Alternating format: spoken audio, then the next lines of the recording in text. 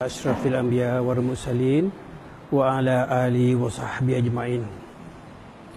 Assalamualaikum warahmatullahi wabarakatuh. Kehadiran Allah marilah kita bersama-sama berbanyak-banyak syukur kerana menemukan kita pada malam yang berbahagia ini. Dengan kudrat dan izinnya lah makanya kita sampai ke dewan ini. Alhamdulillah kepada Allah SWT kita bersyukur dan berterima kasih kepada pihak penganjur kerana telah menepati janji Allah yang tersurat di Lohor Mahfuz. Kita berjumpa pada malam ini. Jadi muslimin dan muslimat yang dirahmati Allah sebelum kita meneruskan muzakarah kita pada malam ini apalah kiranya saya bermohon dengan rendah hati barang siapa yang ada kitab saya itu keluarkanlah. Ya kerana apa? Di dalam dunia sekarang ini kita kena hidup di dalam taklid. Ya kena hidup di dalam bertaklid. Kadang-kadang dunia ini hari tidak menerima kebenaran. Sebab apa saya bercakap sedemikian? Saya adalah seorang pengarang, penulis, pengedar, pencetak, ya, kitab. Jadi dengan kapasiti inilah maka saya boleh datang ke dewan ini. Di semua negeri dia memerlukan kelulusan untuk berceramah iaitu tauliah ceramah. Jadi di atas kapasiti saya menulis kitab agama makanya saya boleh bercakap agama. Kalau orang menulis kitab sejarah, dia bercakap kitab sejarah. Memandangkan saya pengarang, penulis, penerbit kitab, makanya saya tak boleh nak bercakap selain daripada isu agama. Jadi, bertaklik di atas ini, maka saya sampai di majlis ini. Jika tidak, pihak penguasa agama, apa nama, meminta apa panggil? Tauliah. Jadi untuk mengelakkan daripada saya di apa? Di tohmah apa kata bukalah kitab mana yang ada. Bermakna saya datang di sini adalah bertujuan untuk memberi faham makan kitab saya. Faham ya? Seumpamanya semasa hayat baginda Rasulullah ada seorang jatuh sakit. Jadi dia bernazar ya Allah ya Tuhanku seandainya aku sembuh penyakit ini akan aku jual rumah aku ini dengan harga satu dinar. Jika kalau aku sembuh penyakit ini akan aku jual rumah aku ini dengan harga satu dinar. Sedangkan rumah dia besar dengan takdir Allah SWT sembuh penyakitnya. Sebelum itu saya nak tanya macam mana dengan speaker tuan? Apakah masih bergema? Kerana ini nak dirakam. Adinda Adin macam mana sound system? Bergema ke? Okey, boleh dengar nyata jelas ya? Baik kita sambung jadi berkebetulan dengan izin Allah sembuh penyakitnya. Setelah sembuh penyakit, datanglah rasa sayang, ya, rasa menyesal. Rumah yang besar akan dijual dengan harga satu dinar. Lalu dia pun bertaklik. Akan kujual rumah ini dengan satu dinar, tetapi kena beli sekali dengan kucing. Harganya 9,999 dinar. Jadi Satu juta jugalah rumah itu. Jadi orang pergi menghadap baginda Rasulullah bertanya. Bagaimanakah keadaan ini ya baginda Rasulullah? Rasulullah kata benar. Benar. Dia jual rumah dengan satu dinar. Yang 9,999 dinar itu kucingnya.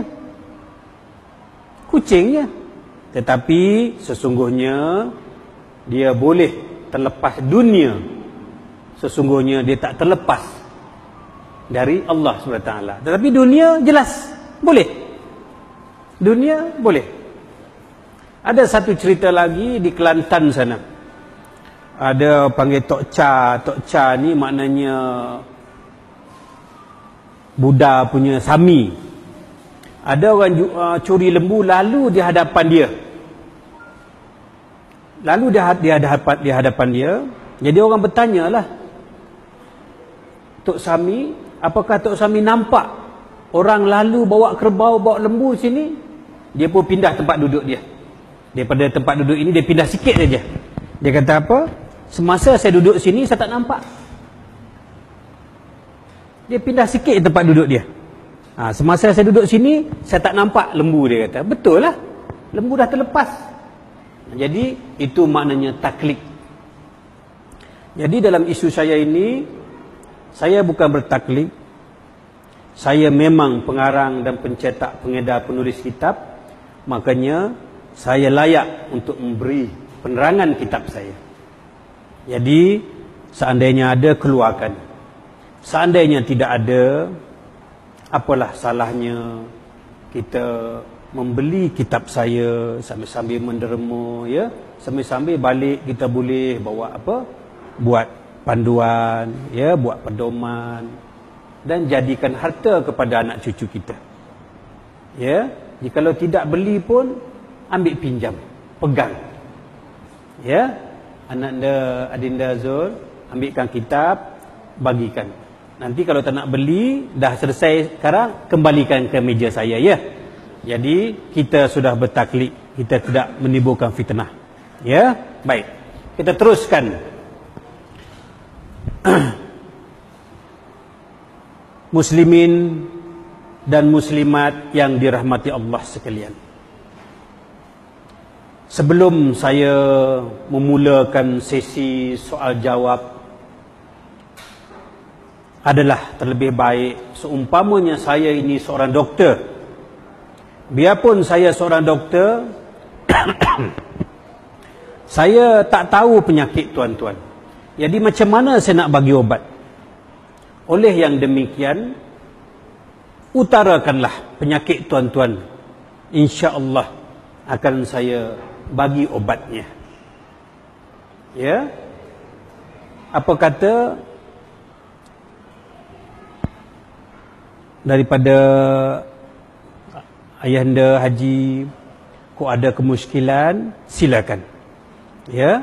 Uh, adinda boleh tak satu orang tuliskan uh, soalan ya kemukakanlah apa sahaja soalan yang terbuku di hati tetapi dengan syarat soalan itu hendaklah soalan ilmu hakikat dan ilmu makrifat. Majlis kita pada malam ini bukan majlis ilmu fiqh. Kitab kita pun namanya ilmu makrifat. Jadi, marilah kita memuliakan majlis ini dengan pertanyaan ilmu hakikat dan ilmu makrifat. Ilmu fiqh dah lama dah kita mengaji. Di merata ceruk rantau kita dapat tetapi ilmu hakikat dan ilmu makrifat teramat payah untuk kita dapat. Oleh itu, mari kita manfaatkan majlis pada malam ini untuk bertanya tentang ilmu hakikat dan ilmu makrifat. Baik, sila ayanda. Ku ada kemuskilan apa-apa, sila.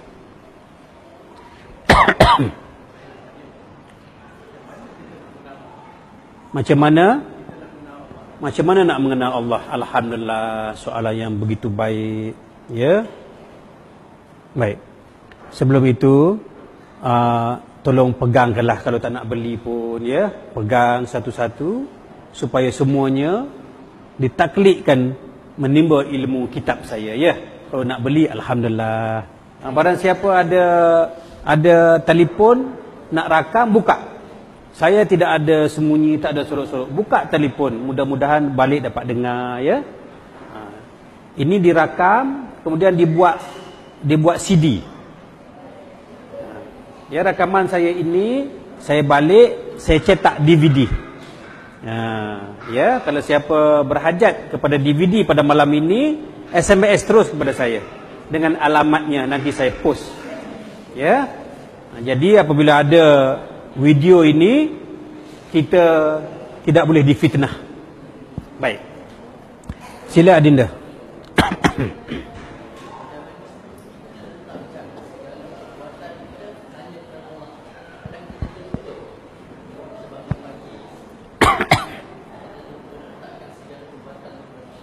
Baik, terima kasih Adinda. Adinda kita bertanya, bagaimanakah nak letak perbuatan kita itu kerana Allah? Kadang-kadang kita terlupa. Bagaimanakah nak letakkan perbuatan kita itu biar sampai perbuatan itu kerana Allah? Alhamdulillah. Ini kalau ada ya. Tak ada ya.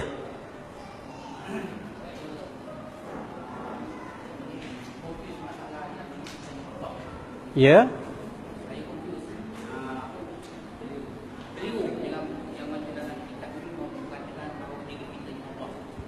Mana ada diri kita Allah? Cuba tunjuk muka surat kepada saya.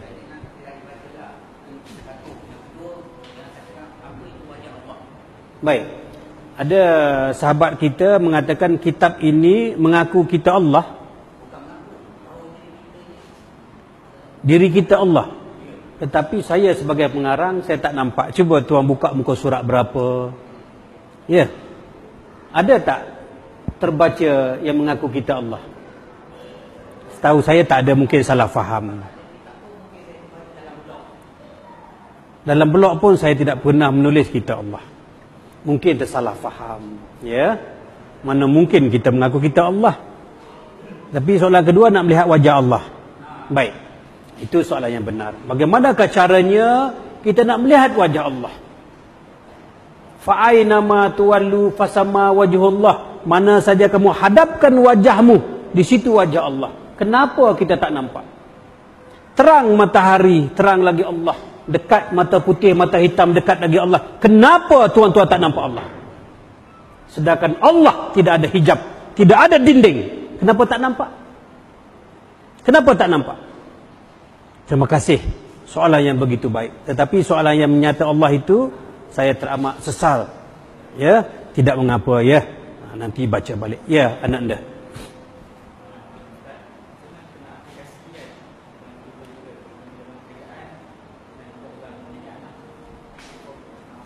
Nak implikasi apa anak anda?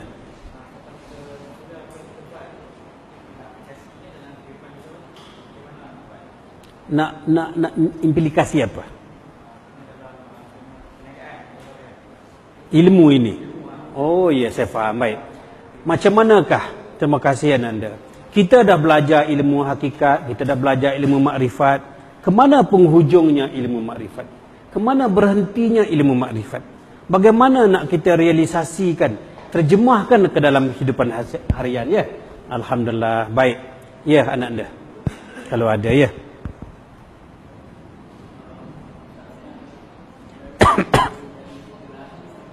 Kuat sikit. Tutup pintu anak anda. Ya. Lahir sampai besar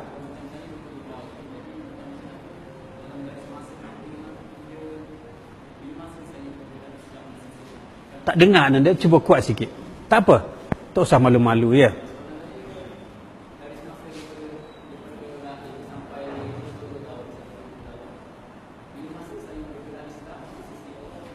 Allahu Akbar. Anak-anak kita sekarang ini sudah berumur 22 tahun. Dia bertanya Bilakah masanya dia Islam? Allah. Tengok soalan-soalan beginilah Yang harus kita kemukakan Jangan mengenai fekah. Fekah di televisyen sudah kita dengar hari-hari.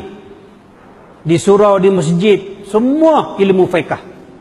pada malam ini manfaatkanlah dengan ilmu hakikatan.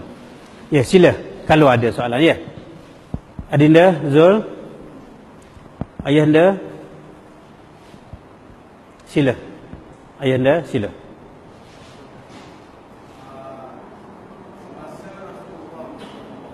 Semasa? Semasa Isra' Mi'raj.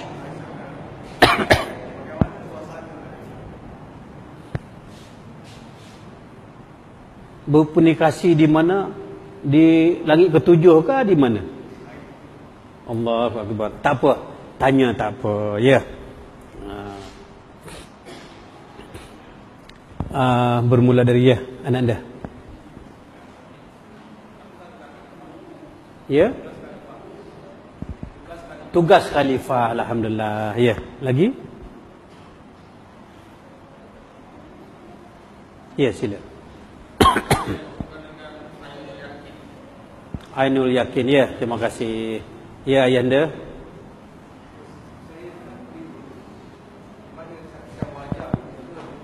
Ya? Wajah Allah. Okey sama dengan uh, soalan tadi ya. Sama hmm apa beza wajah dengan rupa? Ya ya ya. Apa beza wajah muka rupa. Allah. Akbar. Ya. Tak ada ya. Waalaikumsalam bertaubat. Sebenar-benar bertaubat ya apa nama kameraman tak ada ya. Waalaikumsalam.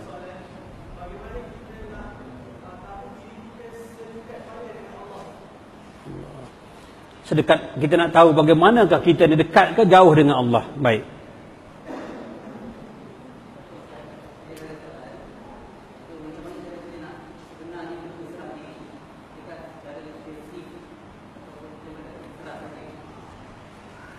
keedah-keedah berserah diri ya. Baik teruskan. Waalaikumsalam.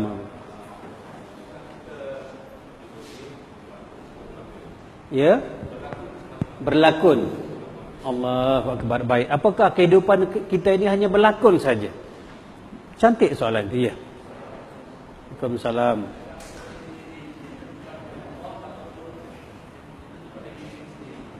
Apakah apa apakah hidup kita ini ditentukan oleh Allah ataupun ditentukan oleh diri kita sendiri baik soalan itu baik teruskan bermula daripada kanan sahabat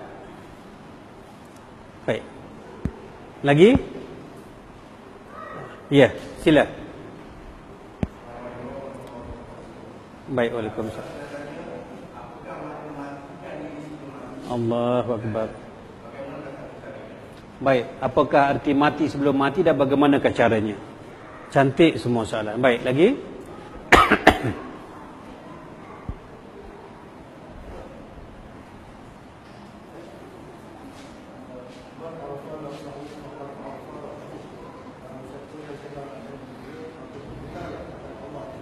Benar.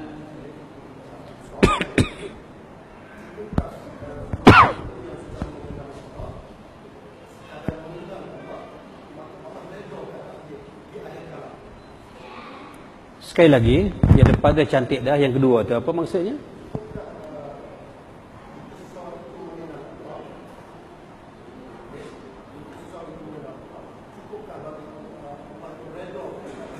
Faham. Cukupkah Orang yang mengenal Allah untuk mendapat keredaan Allah. Cantik. Hmm. Apakah Allah reda setelah kita mengenal? Ataupun ada lagi? Alhamdulillah. Cantik. Terima kasih. Nada, ya. Baik. Yang muslimat. Apa ni muslimin dah habis ya? Sudah. Ayanda belakang? Baik. Pindah kepada muslimah. Kita depan dulu ya. Ya. Ya, lah. Ikhlas. Baik. Terima kasih. Dah. Sila.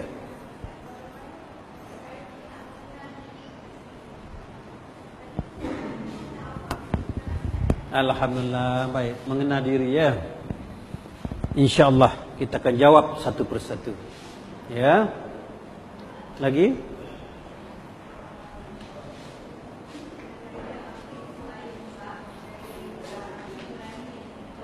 Baik. Air mutlak. Air. Kalau tak ada tak apa. Ya. Yeah.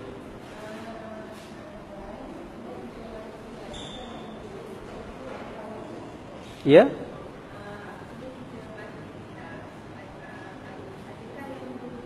Menjemput masa kita mati adakah wajah kita datang menjemput ya? Baik baik.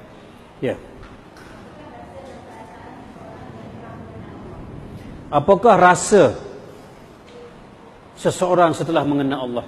Penghujung apakah? Ya, rasanya macam mana ya? Allah cantik. Ya daripada kiri belajar mengenal Allah tak tahu rasa macam mana ya.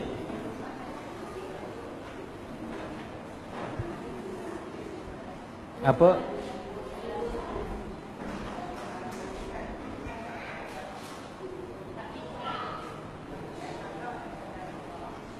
Kadar-kadar Allah.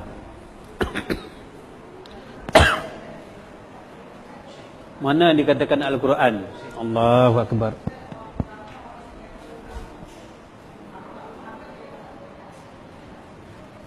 Ha?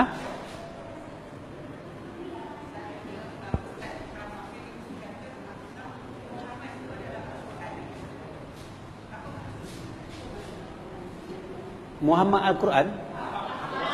Akhlak. Oh iya iya baik baik Iya iya Iya kalau ada.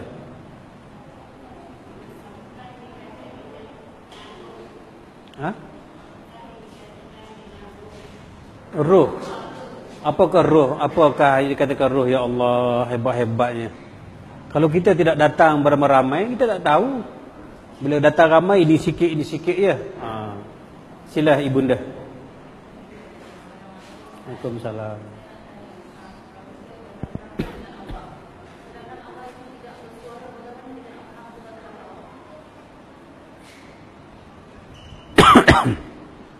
Sedangkan Allah tidak bersuara, tidak berhuruf, tidak berjisim. Bagaimana kita nak tahu kata-kata Allah? Ya Allah, terima kasih adinda penganjur. Ya, hebat pertanyaan itu. Ya, sila ibunda. Tak ada ya? Ya. Adinda? Tak ada. Ya. Sudah ya? Habis. Baik. Terima kasih. Cuba tuan-tuan perhati. Ya, silakan.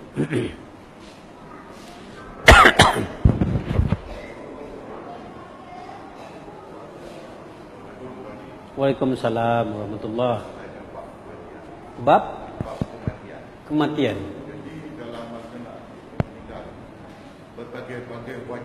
Berbagai-bagai wajah datang. wajah mana yang kita nak nak ikut ya? Sama dengan adina penganjur baik. Sila anak anda. Di situ pun tak apa tapi kena kuat. Waalaikumsalam.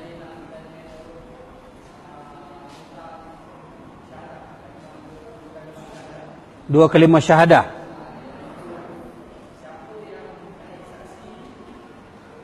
Siapa yang bersaksi siapa menyaksi ya? Baik. Allah habis ya? Oh anak anda kita pun ada ya? Sila. Assalamualaikum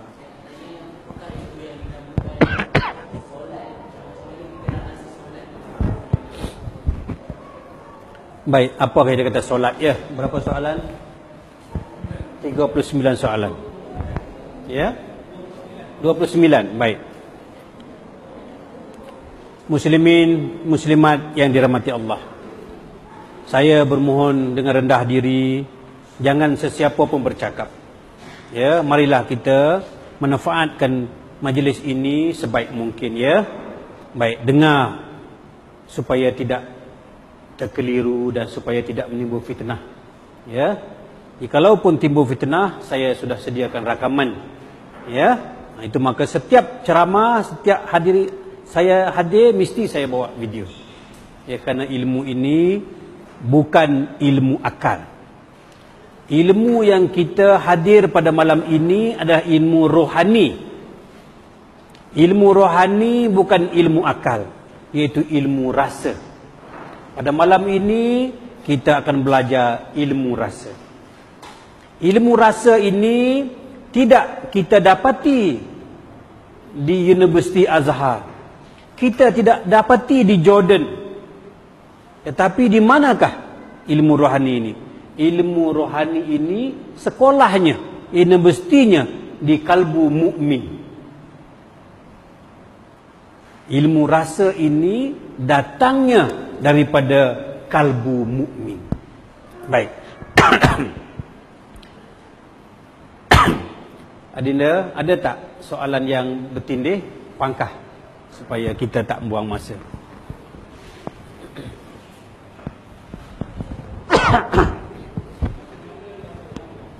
Ya, baik. Alhamdulillah. Soalan pertama pun sudah begitu hebat.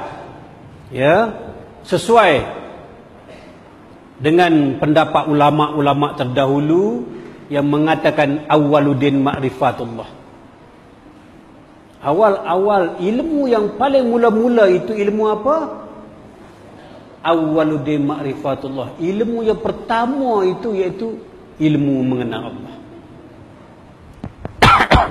awal beragama, awal berilmu itu pelajaran mengenal Allah Subhanahu wa taala.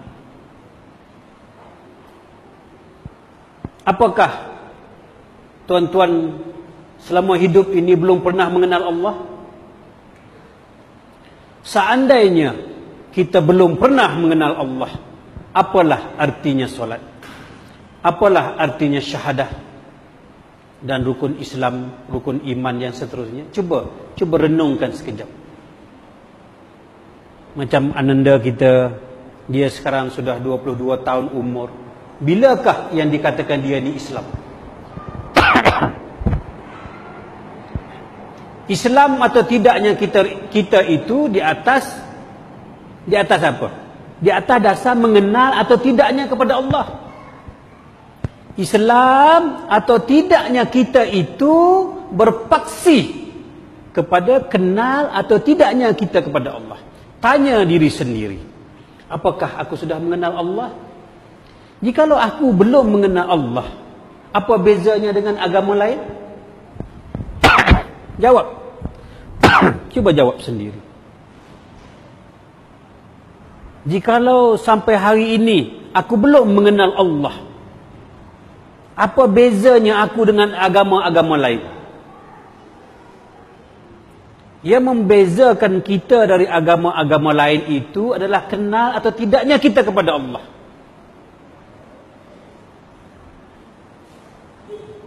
Kalau orang kata kita ni belum Islam, oh kita marah.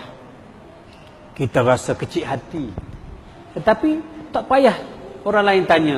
Kita tanya diri sendiri.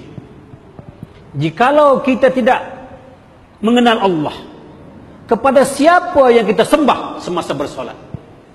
Cuba. Kepada siapa yang kita sembah semasa bersolat? Semua orang boleh jawab, sembah Allah. Allahu Akbar. Tuan-tuan sebut itu namanya Allah. Mana tuan yang ampunya nama? Mana tuan yang ampunya nama?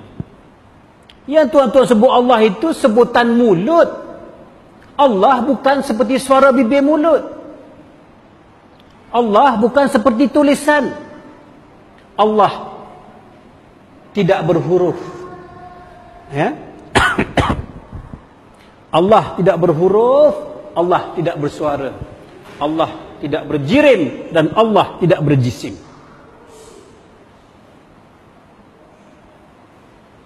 Macam mana tuan-tuan nak mengenal Allah? Nak ingat Allah macam mana? Baik. Seumpamanya kita angkat takbir Allahu Akbar. Macam mana kita nak tasbihkan Allah ke dalam lubuk hati macam mana? Macam mana kita nak letakkan keyakinan ke dalam hati kita macam mana? Allah tidak boleh digambar-gambarkan. Allah tidak boleh dibayang-bayangkan. Allah tidak boleh disifat-sifatkan. Macam mana tuan-tuan ingat kepada Allah? Macam mana nak ingat? Dia bukan putih. Allah bukan lepeh. Allah bukan persegi. Allah bukan pipih. Macam mana tuan-tuan ingat kepada Allah? Allahu Akbar. Nak letak di mana? Cuba. Nak berhenti di mana? Stationnya nak berhenti di mana? Hmm, mana? Putih bukan. Allah bersifat laisa kamislihi syai'un. Allah bersifat laisa kamislihi syai'un. Allah bersalahan dengan yang baharu. Apa yang kita kenal bukan Allah. Apa yang kita lihat bukan Allah. Apa yang kita dengar bukan Allah. Apa yang kita gambar-gambarkan, kenang-kenangkan bukan Allah. Sampai ke tahap apa yang kita ingat itu bukan Allah. Kalau yang kita, kalau barang yang kita ingat mesti bersifat. Kalau tak ada sifat, tuan-tuan nak ingat macam mana? Saya yang ada sifat macam ni, sebelum saya sampai ni, tuan-tuan tak kenal saya kan? Ini saya yang bersifat, tuan-tuan tak kenal saya. Apalagi Allah yang tidak bersifat. Macam mana tuan-tuan nak ingat? Ini, ini kaedah pengajian ilmu hakikatun. ceramah dan perkataan saya ini telah diumumkan seantero negara. Di depan khalayak raja pun inilah ilmu yang saya utarakan. Tuan-tuan boleh tengok dalam blog saya ya. Saya dah jumpa Ni Aziz, saya dah jumpa Haji Adi Awang, saya dah jumpa Ketua Jakim nombor satu Malaysia di Putrajaya. Sampai ke rumah Ni Aziz, Tok Guru Ni Aziz pun sampai saya yang urut badan dia. Boleh tengok dalam video, saya bukan bercakap. Saya yang urut Tuan Guru Ni Aziz. Nikmat ayahanda Tok Guru Ni Aziz itu anak murid Tok kenali. Nikmat, nikmat.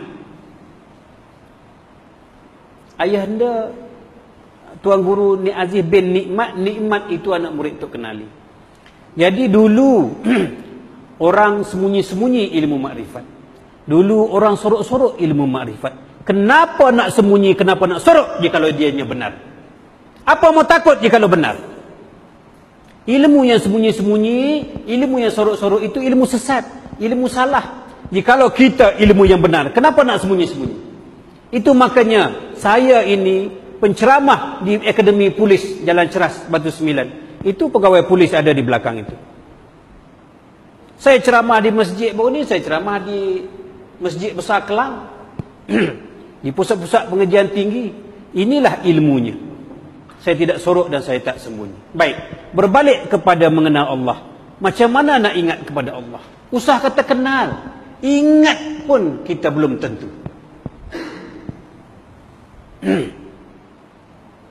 Cuba tuan-tuan fikir sedikit, masuk sedikit ke dalam hati pada malam ini. Apakah sudah aku mengenal Allah? Jikalau aku tidak mengenal Allah, bagaimanakah aku nak ingat kepadamu ya Allah? Sedangkan ibu solat itu khusyuk. Khusyuk itu ingat kepada Allah. Ibunya, tiangnya sembayang itu khusyuk. Khusyuk bahasa Arab, bahasa Melayu kata apa? Ingat kepada Allah dengan begitu mendalam sehingga tidak terlihat kepada yang lain. Ini khusyuk. Ingat kepada Allah dengan mendalam sehingga tidak ingat yang lain selain pada Allah. Apa yang kita nak ingat dalam sembahyang? Allahu akbar nak tasdik, nak kosak niat macam mana? Nah, cuba. Ha, nak nak letak di mana? Jikalau kita tak boleh ingat Allah semasa bertakbir, apa lagi di tempat lain? Sebagaimana Rasulullah kata, kau ingat masa takbir itu biasa macam ni pun tak apa. Sedetik pun tak apa dah. Nak menggambarkan, nak menggambarkan bahawasanya betapa mustahaknya ingat pada Allah. Biar apa? Macam ni tak apa. Tetapi saya nak tanya tuan-tuan. Yang macam ni ada tidak? Ada tak kita boleh ingat kepada Allah? Macam ni saja boleh? Ada tidak? Jikalau tidak ada yang semacam ini, apakah artinya solat?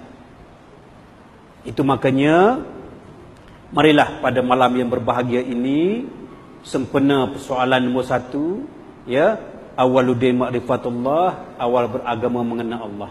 Bagaimanakah caranya nak mengenal Allah? Dalam Quran, tidak ada mengajar kita mengenal Allah. ada tak al-hafiz di sini? Ada tak al-hafiz? Cuba kita tanya Al-Hafiz yang hafal Quran. Ada tak pelajaran mengenal Allah? Dua campur dua jadi Allah seumpamanya. Alif campur ba jadi Allah. Ada tidak dalam Quran? Tidak ada. Jadi macam mana kita nak mengenal Allah? Sedangkan dalam Quran pun tidak ada. Maka Allah pun bersifat kasih dan sayang. Mengutus Rasul dan Nabi untuk menyambung kalimahnya yang belum disebut, yang belum dilafazkan oleh Allah Taala. Macam mana sebagai salah satu salah seorang anda cakap tadi, ya, ulama terdahulu mengatakan man arafa nafsahu faqad arafa rabbahu. Arafa rabbahu fasadal jasad. Man arafa nafsahu barang siapa mengenal diri fakat araf rabbahu wajib dia akan mengenal Allah subhanahu taala fakat araf rabbahu pada siapa mengenal Allah fasadal jasad maka binasalah jasad nampak tak botol nombor dua macam tu. Baik. Saya baca lagi sekali. Man arafa nafsahu. Barang siapa mengenal diri Fakat arafa rabbahu. Maka kenal dia akan Allah. Wajib pasti dia akan mengenal Allah. Bukan lagi mustahil. Barang siapa mengenal Allah fakat arafa rabbahu maka apa dia kata? Fasadal jasad maka binasalah anggota jasadmu tidak terlihat tidak terpandang tidak tertilik lagi olehmu akan dirimu barang siapa mengenal Allah barang siapa mengenal Allah tidak tertilik lagi dirimu tak nampak dah. Jadi bagaimanakah caranya ya Allah? Di manakah ilmu ini akan ku dapat ya Allah?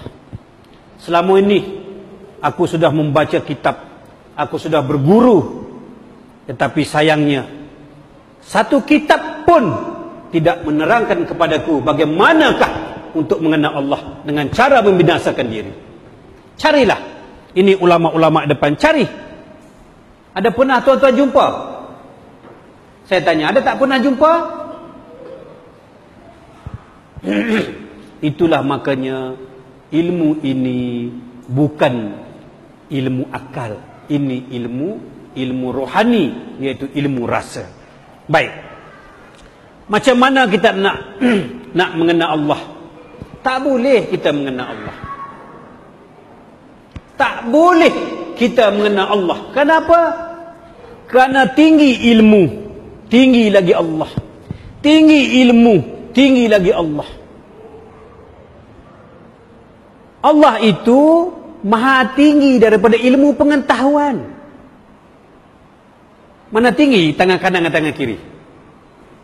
Cuba gak jawab. Rasa tak seronok saya, ya. Ha, baru ada saya pun rasa selesa berceramah, ya. Baik. Mana tinggi tangan kanan dengan tangan kiri? Bermaknanya sampai bila pun ilmu pengetahuan tidak akan sampai ke tahap Allah. Jika kalau ilmu pengetahuan sampai ke tahap Allah, apa bedanya ilmu akal dengan Allah? Layak ke Allah sama dengan akal pengetahuan? Tidak layak. Makanya ilmu pengetahuan tidak akan sampai ke tahap mengenal Allah. Itu makanya tidak ada dalam Quran. Allah itu maha tinggi daripada ilmu pengetahuan. Sampai tidak? Tidak. Makanya, bagaimanakah caranya untuk mengenal Allah? Dengan akal tak boleh. Apalagi dengan anggota lain. Tetapi, Allah mengadakan agama Islam ini teramat indah. Teramat unik. Kenapa? barang yang tidak ada kita boleh adakan barang yang tak dapat kita dapatkan pada malam ini Jangan keluar pada dewan ini pada malam ini jika tuan-tuan tidak mengenal Allah SWT. Pada malam ini, pada hari ini, pada jam ini, pada saat ini, dalam kuliah ini. Jangan keluar jika tidak mengenal Allah. Ini janji saya. Kita belajar biar sampai ke tahap stesen parking. Biar boleh parking. Jangan bawa kereta pusing-pusing habis minyak. Kita pula tolak kereta. Tak mau. Kita mau belajar ilmu parking pada malam ini. Baik. Barang siapa mengenal diri kena Allah. Macam manakah caranya nak mengenal diri? Nak mengenal Allah tak boleh. Ilmu pengetahuan tak sampai ke tahap mengenal Allah. Man arafa nafsahu. Barang siapa mengenal diri faqad arafa rabbahu akan mengenal Allah. Barang siapa mengenal Allah fasadal jasad. Binasalah jasadmu. Jadi Barang siapa mengenal diri wajib akan mengenal Allah. Dengan cara otomatik. Tak perlu kita belajar mengenal Allah. Cukup dengan hanya belajar mengenal diri saja. Cukup dengan mengenal diri. Pasti tuan-tuan hadirin ini akan mengenal Allah pada malam ini. Mengenal diri pasti mengenal Allah datang sendiri. Seumpama mana? Seumpama kita makan garam. Perlu tak kita belajar masin? Jawab. Makan garam, perlu tak belajar masin? Makan garam, masin datang sendiri. Makan gula, perlu tak cari manisnya? Makan gula, manis datang sendiri. Barang siapa mengenal diri, mengenal Allah datang sendiri. Itu makanya tidak ada ilmu mengenal Allah. Kenapa tidak ada? Ilmu mengenal Allah ini ilmu yang paling senang ilmu yang paling mudah ilmu yang paling rendah ilmu yang orang kata tadika pun tinggi berbanding ilmu mengenal Allah. Senang mudah. Apa tak mudah mengenal Allah? Terang cahaya matahari. Terang lagi siapa? Terang cahaya matahari. Terang siapa? Dekat mata putih mata hitam. Dekat siapa? Kenapa tidak boleh kenal? Kenapa? Sedangkan Allah itu teramat jelas. Fa aina ma tuwallu fasamma wajhullah. Mana saja kamu hadapkan mukamu. Wajah siapa kita nampak? Kenapa tuan-tuan tak nampak? Kenapa? Saya tanya, ini apa ni? Botol apa? Jawab kuat-kuat agak sikit. Botol apa ini? Ah, tadi saya dah baca ayat Quran. Badan siapa tak percaya kepada ayat, ayat Quran apa? Hukum dia apa? kafir. Sekarang ni tuan-tuan nampak botol ke atau tuan nampak Allah? Cuba jawab. Ha, tak berani. Ha, ini ini yang masalah. Kata ter, Allah itu terang, Allah itu dekat, Allah tidak ada hijab, Allah tak ada dinding. Mana saja aku hadap wajah Allah? Ha, cuba sebut. Allah ke botol air? Ha. Kalau siapa mengatakan botol air sudah mengingkari Quran. Ha, ha sudah. Pada siapa kata botol air, dia sudah mengingkari Quran. Pada siapa kata Allah mengingkari Quran juga. Ah, macam mana sekarang? Nah, itu makanya kita belajar ni biar sampai ke stesen jangan bercakap saja. Jangan benarkan saya keluar pada malam ini. Jika tuan-tuan tidak mengenal Allah pada saat ini, jam ini, hari ini. Mau tidak? Mau. Mau tidak? Mau. Baik. Mari kita belajar mengenal diri. Tak boleh kita mengenal Allah. Kenapa? Allah terlampau senang, terlampau dekat, tak perlu belajar mengenal Allah. Mari kita belajar mengenal diri. Mengenal apa? Baik. Manakah yang dikata sebenar-benar diri? Sebelum itu, cameraman, boleh tak kita ambil gambar tetamu semua supaya dirakam esok semua yang nampak tetamu-tetamu kita ya. Sekali-sekali pelan-pelan ambil ya. Baik. Kita sambung. Kamera saya pun macam tu juga. Kamera saya kamera murah je. Ya. Cukup sekadar dengar suara. Ya Allah. Baik. Kita sambung. macam manakah caranya untuk mengenal diri? Manakah sebenar-benarnya diri aku ni mana? Mana aku? Oh, Alhamdulillah. Laju ya jawabnya. Oh, itu tinggi sangat tu kita ambil rendah dulu. Itu dah betul itu jawapannya. Baik. Manakah aku? diri muslimin muslimat yang dirahmati Allah kita ini bukan doktor. Yang mengenal diri kita ini hanya doktor saja. Betul tidak? Tulangnya macam mana, mau operation darah awak jenis apa, ya. Penyakit ini, ini obatnya, ya. Sampai boleh operation jantung, hati, otak, semua doktor tahu. Kita pun tanya doktor, apakah doktor sudah mengenal diri? Kenal tak? Ada tak doktor sini? Ada tak? Kalau tak ada, saya lah pura-pura jadi doktor. Cuba tanya saya. Kenal tak saya pada, pada diri? Doktor tak mengenal diri. Jikalau doktor mengenal diri, dah banyak dah doktor Cina, doktor India masuk Islam. Sedangkan doktor Islam sendiri pun tidak mengenal diri. Sedangkan dia pakar bedah. Kenapa? Kenapa? Ini menggambarkan diri-diri itu bukannya jasad. Diri bukan jasad. Kalau nak mengenal diri, jangan mengenal jasad. Sebab diri bukan jasad.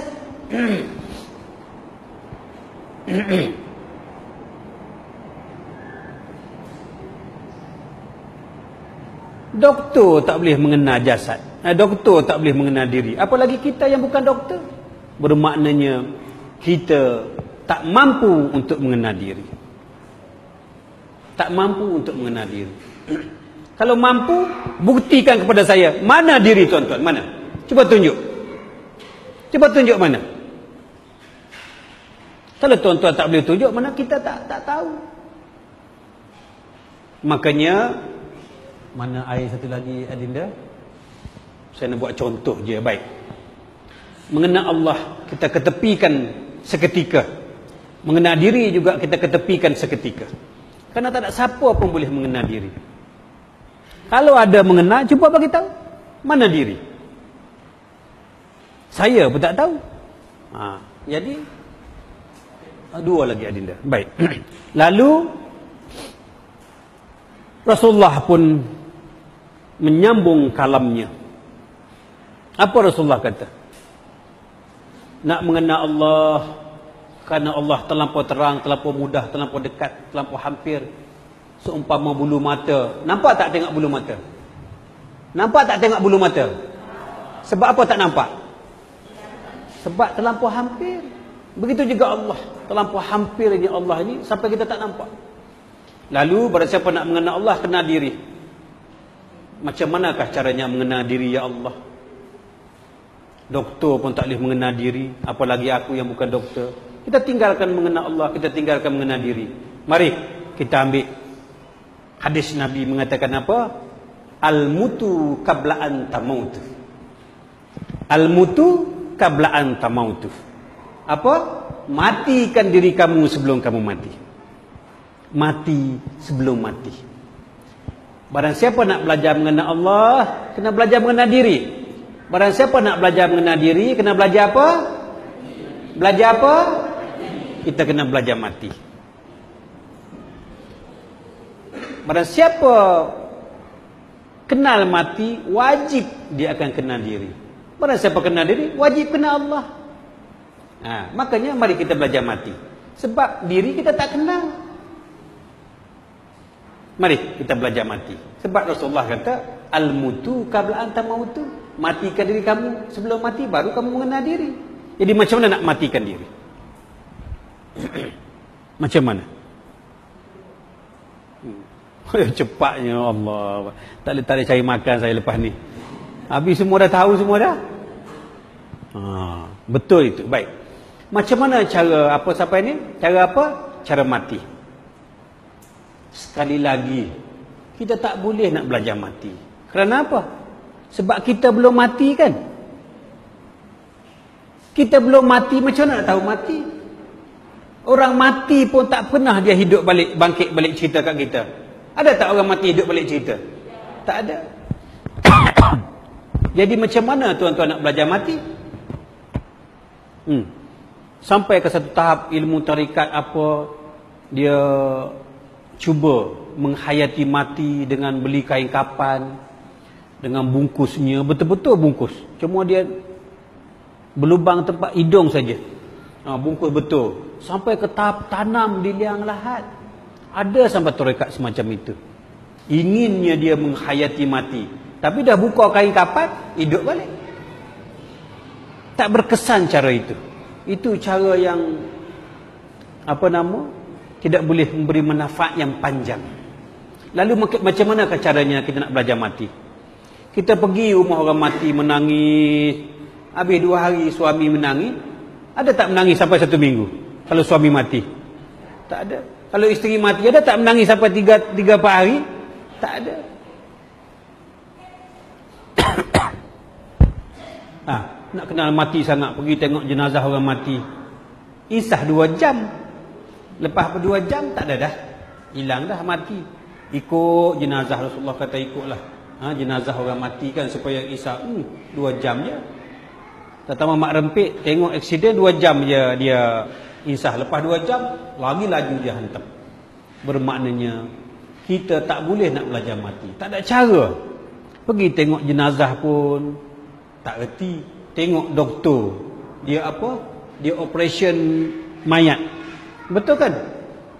Dia kena tak mati? Doktor yang belah belah mayat pun tidak tahu arti mati. Macam mana kita yang bukan doktor? Lagi sekali kita tak boleh nak belajar mati. Baik.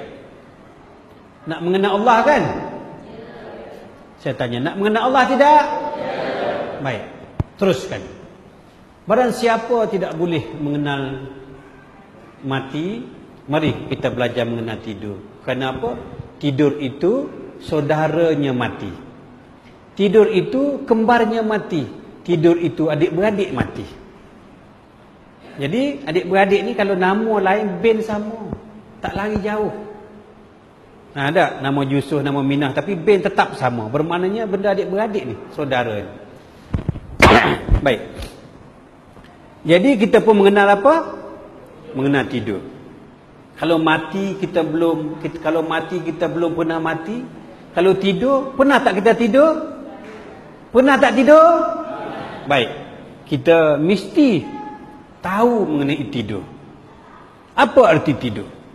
Tidur ini muslimi muslimat mengajar kita berserah diri kepada Allah. Potong adinda uh, tajuk berserah diri. Saya akan jawab serentak. Baik. Macam manakah caranya nak berserah diri kepada Allah? Ya. Yeah. Macam mana cara nak berserah diri? Tangan kita ini nak serah kepada Allah macam mana? Ya Allah Tuhanku, ambillah tanganku ini ya Allah.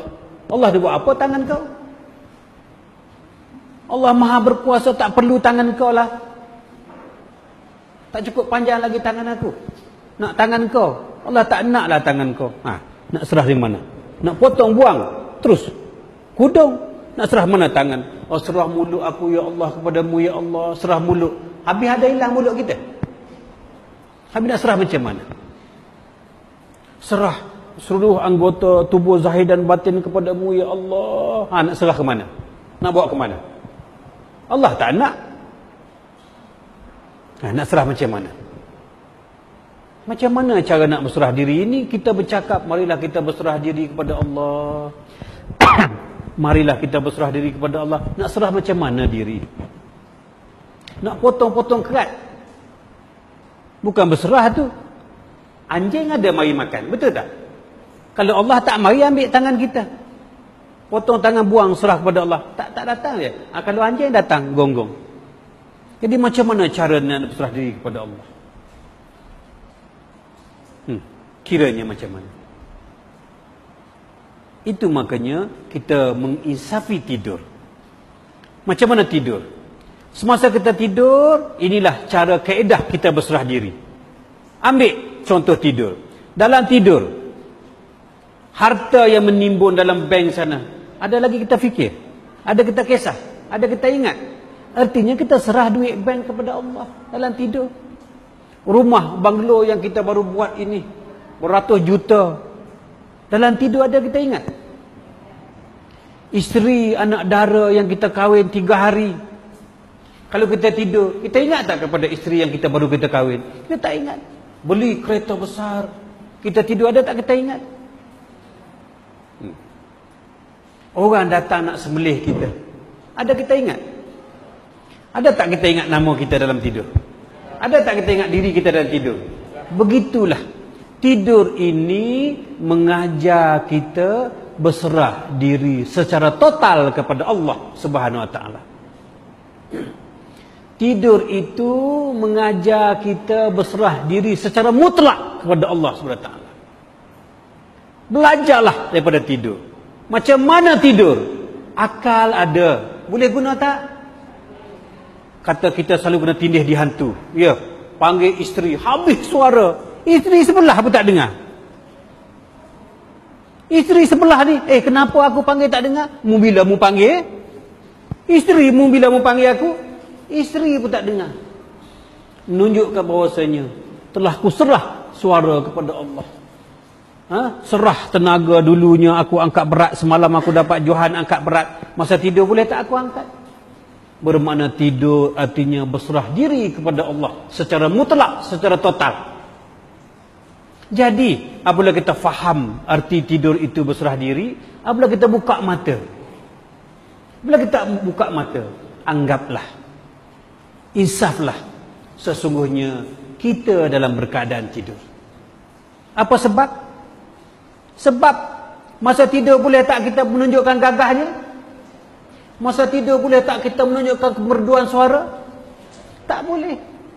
Berartinya di sini segala kekuatan kita, segala pandangan kita, segala pendengaran kita itu hak Allah. Bukan hak kita. Jadi masa kita jaga pun kita berserah sebagaimana tidurlah kepada Allah. Berserah diri sebagaimana aku tidur ya Allah. Ada akal pun aku tak boleh berfikir jika engkau tak memberikan hidayah kepada aku ya Allah. Tengok orang gila, ada tak otak? Contoh, orang gila ada tak dia otak? Kenapa dia tak boleh berfikir? Bagi menggambarkan fikiran itu hak Allah. Ada akal kenapa tak berfikir? Belajar baru keluar universiti dua hari balik-balik gila. Daripada universiti balik gila. Mana kepandaian dia? Ada akal kan? Bermakna kita pun ada akal. Tetapi fikiran pada mana? Pada Allah SWT. Mana kita tidak ada pun daya ikhtiar. Tidak ada pun daya usaha.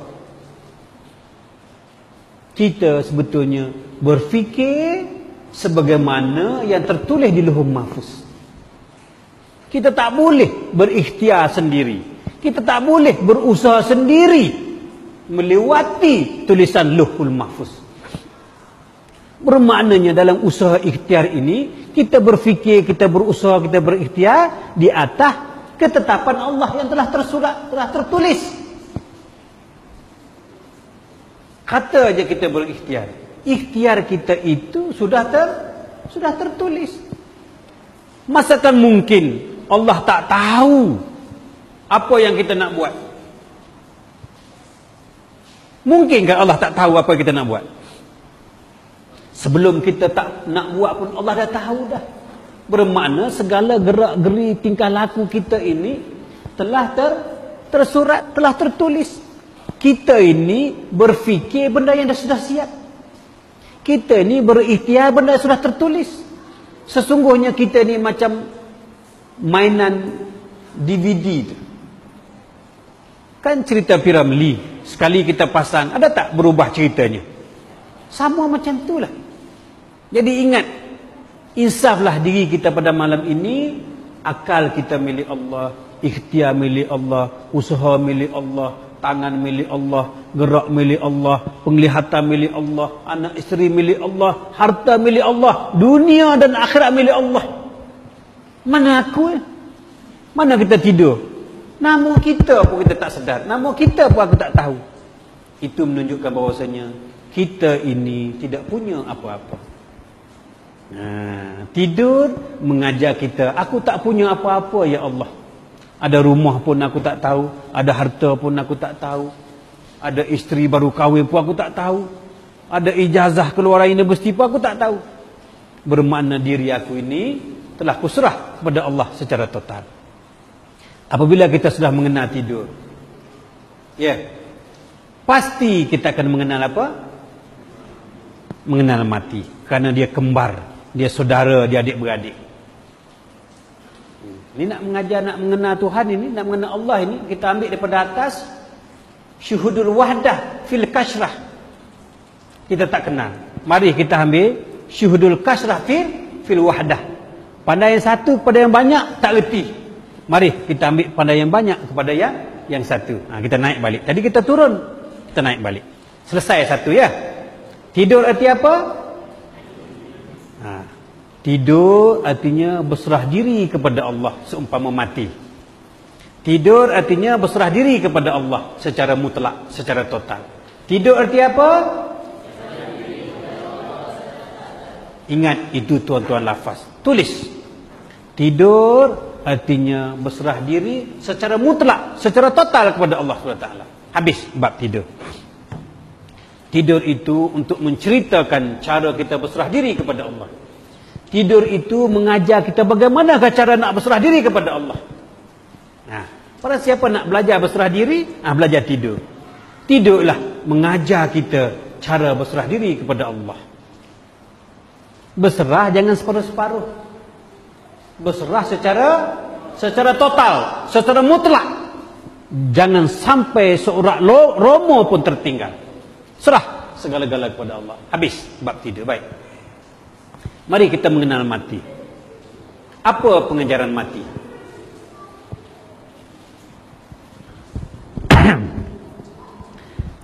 Kalau tidur sama dengan mati saudaranya, jadi mana mati ni sama dengan tidur. Jikalau tidur mengajar kita berserah diri secara total, mati pun artinya mengajar kita berserah diri secara total kepada Allah. Baik. Tak reti tidur. Mari kita tengok orang mati. Boleh tak dia angkat tangan? Kenapa tak boleh dia ada tangan? Ha, bermaknanya tangan dah milik Allah. Mata dah milik Allah ada tapi tak boleh melihat. Mulut ada tak boleh berkata-kata. Tangan ada tak boleh angkat, kaki ada tak boleh berjalan. Sekejap lagi aku ni pun daripada atas tika ini akan berubah ke dalam kain kapan. Selepas kain kapan masuk keranda. Selepas keranda, masuk ke bumi. Ada tak lagi aku? Bermakna mati ini mengajar kita berserah diri secara total kepada Allah. Ya Allah, ya Tuhanku. Kerinduannya aku untuk balik ke kampung asalku, ya Allah. Datangnya aku daripada tidak ada apa-apa. Datangnya aku daripadamu ya Allah. Maka aku ingin kembali kepadamu ya Allah. Mana diriku ya Allah? Mana? Ha. Orang mati tidak punya apa-apa. Semua sebagaimana tidur. Maka kenalah kita pada malam ini apa arti mati. Mati itu berserah diri secara mutlak kepada Allah. Apa arti mati? Apa arti mati? Berserah diri kepada Allah secara secara mutlak. Baik, kita sudah kena tidur, kita sudah kena mati. Mari kita mengenal diri. Mau tak belajar mengenal diri? Pelajaran yang tidak dapat dibelajar oleh doktor, tapi kita dapat belajar pada malam yang berbahagia ini. Nak tidak? Baik. Mana yang dikatakan diri? Barang siapa kena tidur, kena mati. Barang siapa mengenal mati, kena diri. Ha, Alhamdulillah, tengok. Mana diri? Cuba, mana? Tangan milik siapa? Kaki milik siapa? Mana milik kita? Mana? Arti mengenal diri itu setelah tidak lagi mengenal diri sendiri. Tulis. Mengenal diri itu setelah tidak lagi mengenal diri sendiri. Aku tak kenal diri aku. Mana aku? Aku kan mati. Orang mati ada mengenal diri.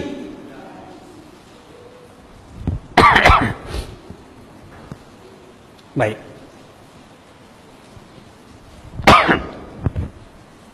Saya minum sikit ya. Kelah kosong ke kelah ada air ni? Oh kosong. Nampak macam ada air. Saya minum di sini lah ya.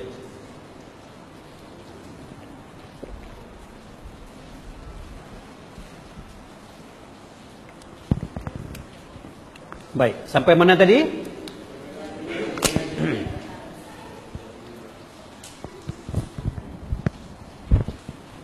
Macam manakah caranya kita untuk mengenal diri? Sedangkan segala-galanya bukan milikku ya Allah. Akal fikiran pun milikmu. Nak belajar mengenal diri pun tak boleh akal dah tak ada. Boleh tak mengenal kalau akal tak ada? Akal milik siapa? Dah aku tak boleh berfikir dah kerana akal milikmu. Dah aku tak boleh bergerak dah tangan kerana kudrat milikmu. Dah aku tak dapat melihat dah kerana basar milikmu. Aku tak boleh dengar kerana samuk milikmu. Mana milik aku? Mana aku? Aku ada tidak? Aku ada tidak? Kalau aku tidak ada, siapa yang ada?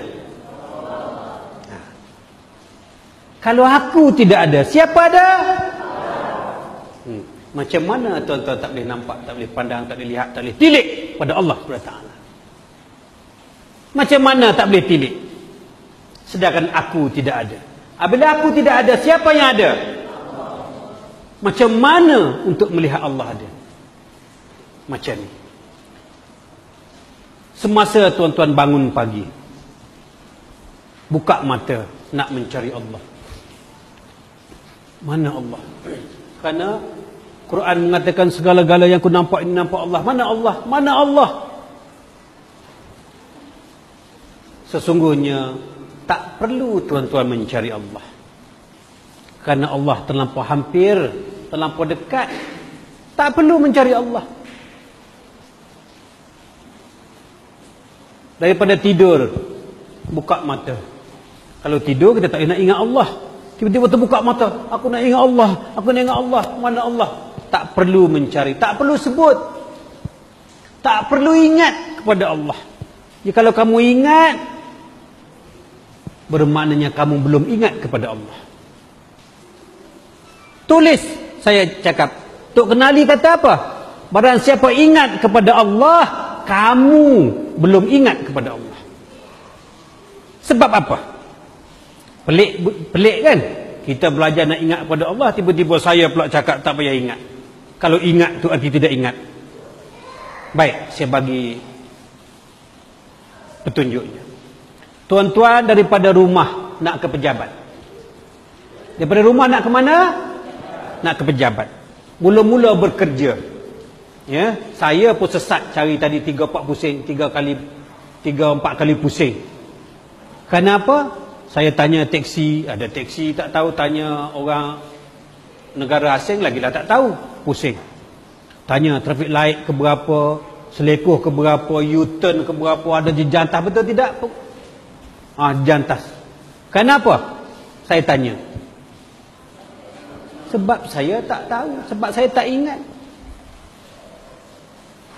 Daripada rumah ke pejabat mula-mula uh, awak pergi traffic light nombor pertama belok kiri. Lepas belok kiri jumpa right and about belok kanan. Belok kanan ada jumpa dengan bangunan tinggi apa nama menara berkembar. Ha, di situlah pejabat saya. Kemudian sekarang ni. Tuan-tuan start engine. Ada tak lagi bilang traffic light? Cuba jawab. Ada tak bilang lagi selekoh kenapa tak bilang? Sebab kena. Tak payah ingat traffic light. Tak payah ingat rakyat baut. Tak payah ingat selekoh-selekoh kenapa tak payah ingat? Sebab mengenal. Kerana tak kenal lah maka tuan-tuan tak ingat. Begitu juga kepada Allah. Kalau dia ingat, ingat lagi mana tuan-tuan belum ingat kepada Allah. Ingat kepada Allah ni tidak ada kerena dengan satu kerena. Tulis. Ingat kepada Allah tidak ada kerena dengan satu kerena. Barang siapa masih berkerenakan berdalil untuk ingat Allah, tuan-tuan belum mengenal Allah. Allah tu begitu hampir, begitu hebat, begitu agung, begitu terang Kenapa nak mencari dalil untuk ingat kepada Allah? Kenapa? Karena tuan-tuan tidak mengenal, tidak mengenal. Cuba kenal daripada rumah ke pejabat, start engine. Tahu-tahu sampai tahu-tahu apa? Sampai kenapa? Karena aku sudah mengenal. Kalau orang tak kenal nak ingat traffic light, nak ingat road and bout, nak ingat ini. Begitu juga Allah. Sampai ke tahap Tok Kenali kata, tak perlu kamu ingat kepada Allah. Kalau kamu ingat kepada Allah, bermakna kamu masih menggunakan akal makhluk. Akal ini bodoh. Perkara bodoh boleh tak ajak mengenal Allah? Tak boleh. Jadi Allah terlampau terang, terlampau jelas sampai tak perlu guna akal. Kenapa? Nah, kerana macam ni. Sudah faham maksud saya tadi kan? Ingat artinya Ingat artinya tak ingat. Ingat artinya tak ingat. Sebab apa? Orang yang kenal Allah ini, orang yang kenal pejabat ini, start engine, tak perlu dah bilang traffic light, tak perlu bilang traffic, uh, about tak perlu bilang seleko. Betul tidak? Begitu juga dengan Allah. Untuk ingat kepada Allah, tak perlu kepada dalil, tak perlu kepada sebab. Macam mana? Baik. Bangun daripada tidur. Wa fi anfusikum afala tubsirun. Wa fi anfusikum afala tubsirun. Tidakkah kamu tilik pada diri kamu sendiri? Buat apa nak cari jauh-jauh Allah? Allah bukan berada dalam gua saja. Allah bukan berada di tanah Jawa saja. Allah bukan berada di tanah Mesir saja. Tak perlu kamu pergi jauh-jauh. Tilik pada diri kamu sendiri. Tilik macam mana? Baik. Apabila kita pejam mata. kita bangun daripada tidur. kita pun terjaga. Kita buka mata. Basar arti apa? Cuba jawab kat kuat-kuat sikit. Basar arti apa? Orang belakang diam saja seolah-olah tidak menyambut pengajaran saya. Jadi saya nak cerita pun rasa macam apa? Tak ada sambutan, tak ada semangat. Ya, depan ada belakang sunyi. Saya tanya apa tadi? Basar arti apa? Melihat itu sifat siapa? Melihat sifat siapa cakap betul-betul sifat siapa? Sifat kita? Sifat kita? Sifat kita apa? Sifat kita buta. Sifat Allah melihat. Sifat kita? Saya tanya nampak tak betul ini? Tadi kata tuan-tuan buta. Kenapa nampak betul? Ha, Kenapa tuan-tuan nampak betul? Inilah makanya cara orang belajar makrifat macam ni. Senang saja nak ingat kepada Allah. Mudah saja untuk lihat Allah. Baik. Basar artinya melihat. Melihat sifat siapa? Melihat itu sifat Allah. Sifat aku, sifat aku buta. Kenapa aku melihat? Sesungguhnya, yang melihat itulah aku. Tulis. Yang melihat itulah Allah. Aku buta. Ini kaedah orang mengaji sifat 20. Jangan baca saja. Ini kaedah orang mengaji sifat 20. Siapa yang bersifat melihat? Cuba cakap. Kita? Kenapa nampak? Sebab melihat itulah. Itu makanya tak perlu tuan-tuan cari jauh-jauh Allah SWT. Buka saja mata. Yang melihat siapa? Allah. Aku, aku mati, aku buta, aku dah tak ada ya Allah. Kan kita dah mengaji ni. Mengaji apa ni? Tidur. Mengaji apa ni? Mengaji apa ni? Ha. Orang mengenal diri itu apa? Setelah tidak lagi mengenal diri sendiri. Orang mengenal diri apa? Setelah tidak lagi mengenal diri sendiri. Apabila sudah tidak kenal diri. Apabila sudah tidak ada diri. Siapa yang ada? Siapa yang melihat? Ah, payah tak untuk ingat kepada Allah? Payah ke tidak? Begitu senang untuk ingat kepada Allah. Yang melihat itu aku. Sama arti apa? Sifat siapa mendengar? Sifat kita? Tuli. Kenapa kita mendengar ceramah? Sebab yang mendengar itu aku. Jikalau kamu melihat Allah melihat. Jikalau kamu mendengar Allah mendengar. Apa arti? Apa dua? Syirik. Nah, jangan main-main. Aku melihat Allah melihat. Aku mendengar Allah mendengar. Syirik kepada Allah pada malam ini. Pada jam ini. Pada saat ini.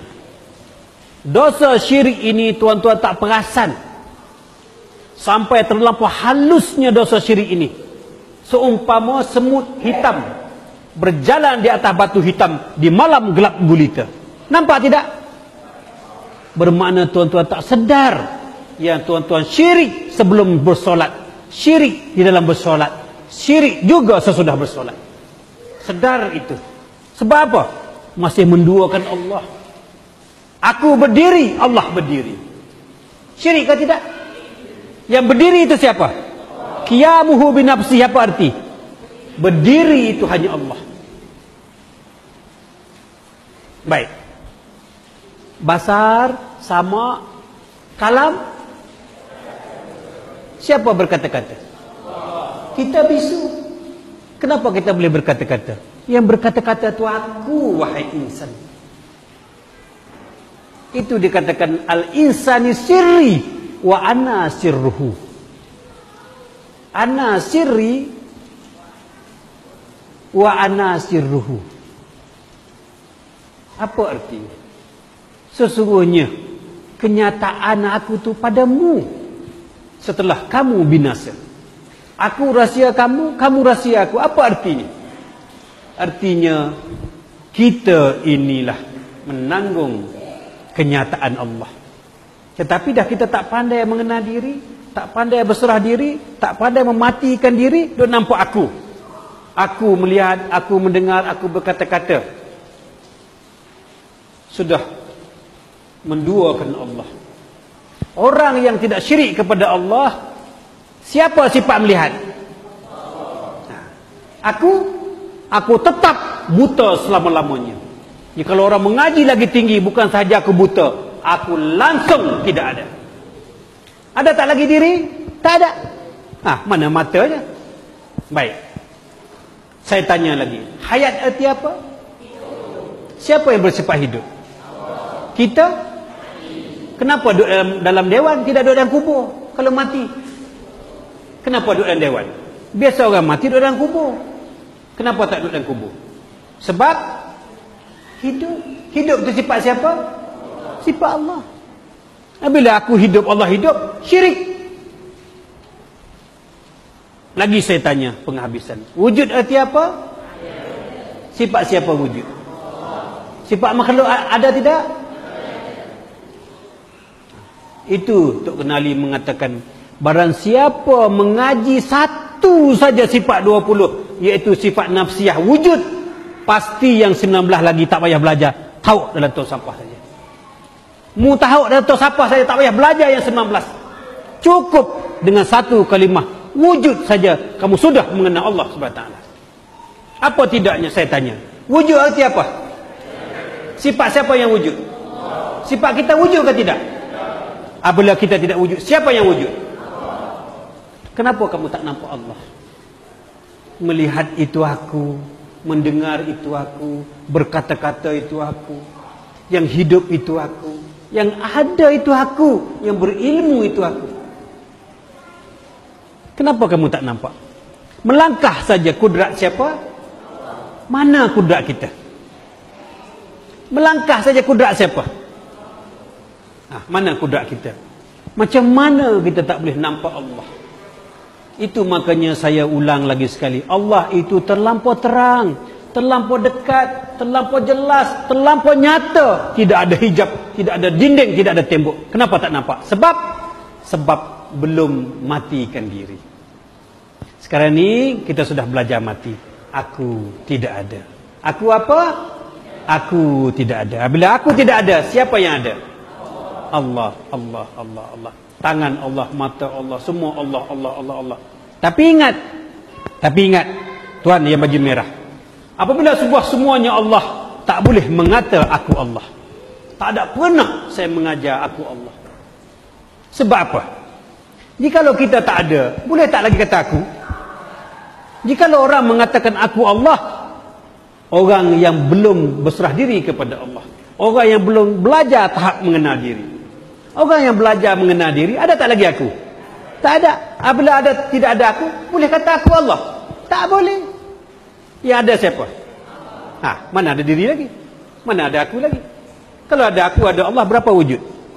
Syirik. Ha, ini makanya baca cara pelan-pelan, ya. Baca teliti, tapi tak apa, ya. Sebab itu kefahaman, ya. Sila telefon saya. Kalau ada masalah, telefon. Nah, ya supaya tidak timbul fitnah. Aku tidak ada. Macam mana nak kata aku Allah? Tak boleh. Hmm. jadi melihat Allah berkata-kata Allah mendengar Allah bergerak Allah Allah Allah Allah Allah. Belum betul tak kita mentauhidkan Allah? Baru kita mengesahkan Allah. Inilah dikatakan awwaluddin ma'rifatullah. Awal beragama itu mengenal Allah. Itu makanya yang dikatakan ilmu makrifat ilmu ini ilmu yang paling mudah. Tengok baginda Rasulullah daripada kota Mekah ke kota Madinah berpindahnya dari kota kota Mekah ke kota Madinah. Selama 13 tahun. Dia mengajar ilmu apa? Yaitu ilmu mengesahkan Allah iaitu tauhid. Tauhid mengesahkan Allah. Mengesahkan Allah itu mengenal Allah lah. Ini pelajaran yang mula-mula baginda Rasulullah ajar iaitu mengenal Allah taala. Barulah diturunnya sembahyang, puasa, zakat. Selepas berapa tahun? Selepas 13 tahun baru turun sembahyang. Itu sembahyang payah. Puasa payah. Tapi mengenal Allah payah ke tidak? Senang. Itu dia turun pelajaran mula-mula sekali. Pelajaran mula-mula ni untuk orang yang bodoh. Untuk orang budak tadika. Nah, itu makanya pelajaran yang mula-mula inilah pelajaran mengenal Allah Subhanahu Wa Taala.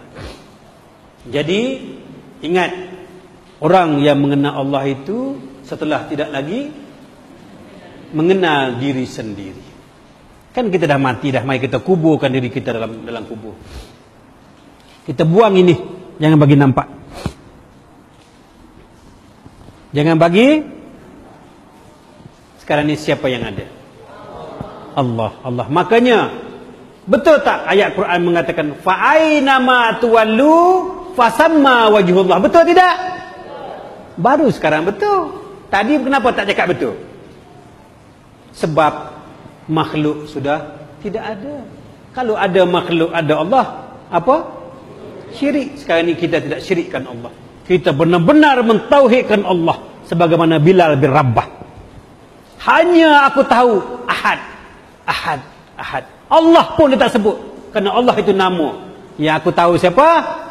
Ahad, Ahad, Ahad.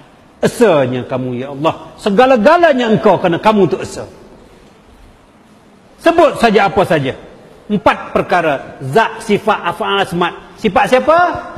Semuanya Allah. Mana aku? Aku tidak ada. Habislah pelajaran mengenai Allah sebenarnya. Kenapa tidak Allah? Senang bukan kan? Senang. Payahkah mengenal Allah? Itu makanya Allah itu terang lebih terang daripada cahaya matahari. Sekarang ini baliklah tuan-tuan, sahabat-sahabat, ya. Baliklah selepas ini insaflah. Jangan sampai terlihat adanya diri. Tulis perkataan saya ini tampal di kereta, tampal di meja kerja, tampal buat harta kepada anak apa tu kenali kata harta yang dibagi kepada Pak Yusof Tok Muhammad Yusof Cikgu? Harta satu-satunya harta tertulis oleh Tok Kenali kepada Muhammad Yusof Cikgu. Apa dia kata? Mamat, jangan sampai terlihat adanya kamu. Dia tulis Mamat, ayah saya nama Muhammad Yusof Cikgu. Orang Kelantan panggil Mamat. Mamat, jangan sampai terlihat adanya diri. Buatlah apa saja kamu nak buat beribadahlah apa saja beribadah pun jangan sampai terlihat adanya diri jikalau kita sudah tak terlihat adanya diri siapa yang berdiri? Betul tak sifat 20 kata qiyamuh bin nafsi siapa yang berkata-kata? Betul tak sifat 20 kata kalam itu sifat Allah? Semuanya betul. Maka betul lah pengajian kita sekarang ini. Baik selepas ini biarpun kita buka mata Biarpun kejap kita pejam mata Yang kita nampak hanya Allah Allah Allah Allah Allah Allah. Sedikit saya tambah Ananda Untuk merealisasikan ilmu ini kepada kehidupan seharian. Potong. Untuk menerjemahkan ilmu makrifat dalam kehidupan seharian Setelah mengenal Allah. Setelah kita binasa diri. Apa hasilnya? Apa penyudahnya? Apa natijahnya? Apa faedahnya? Nak guna untuk apa mengenal Allah ini?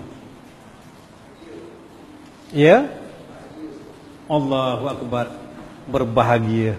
Berhari raya. Saya ingat saya belum tulis itu dalam blog. Saya baru karang itu.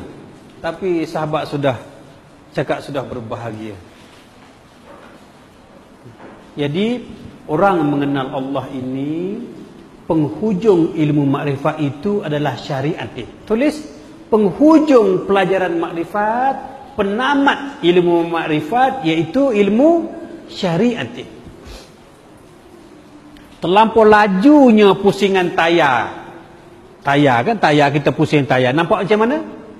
Dia terbalik kan? Kan terlampau laju kita pusing tayar tu kita nampak dia terbalik. Begitu juga terlampau tingginya kita duduk kita akan balik kepada kepada apa? Kepada sunnah Rasulullah aku utuskan engkau ya Muhammad untuk mengajar apa mengajar akhlak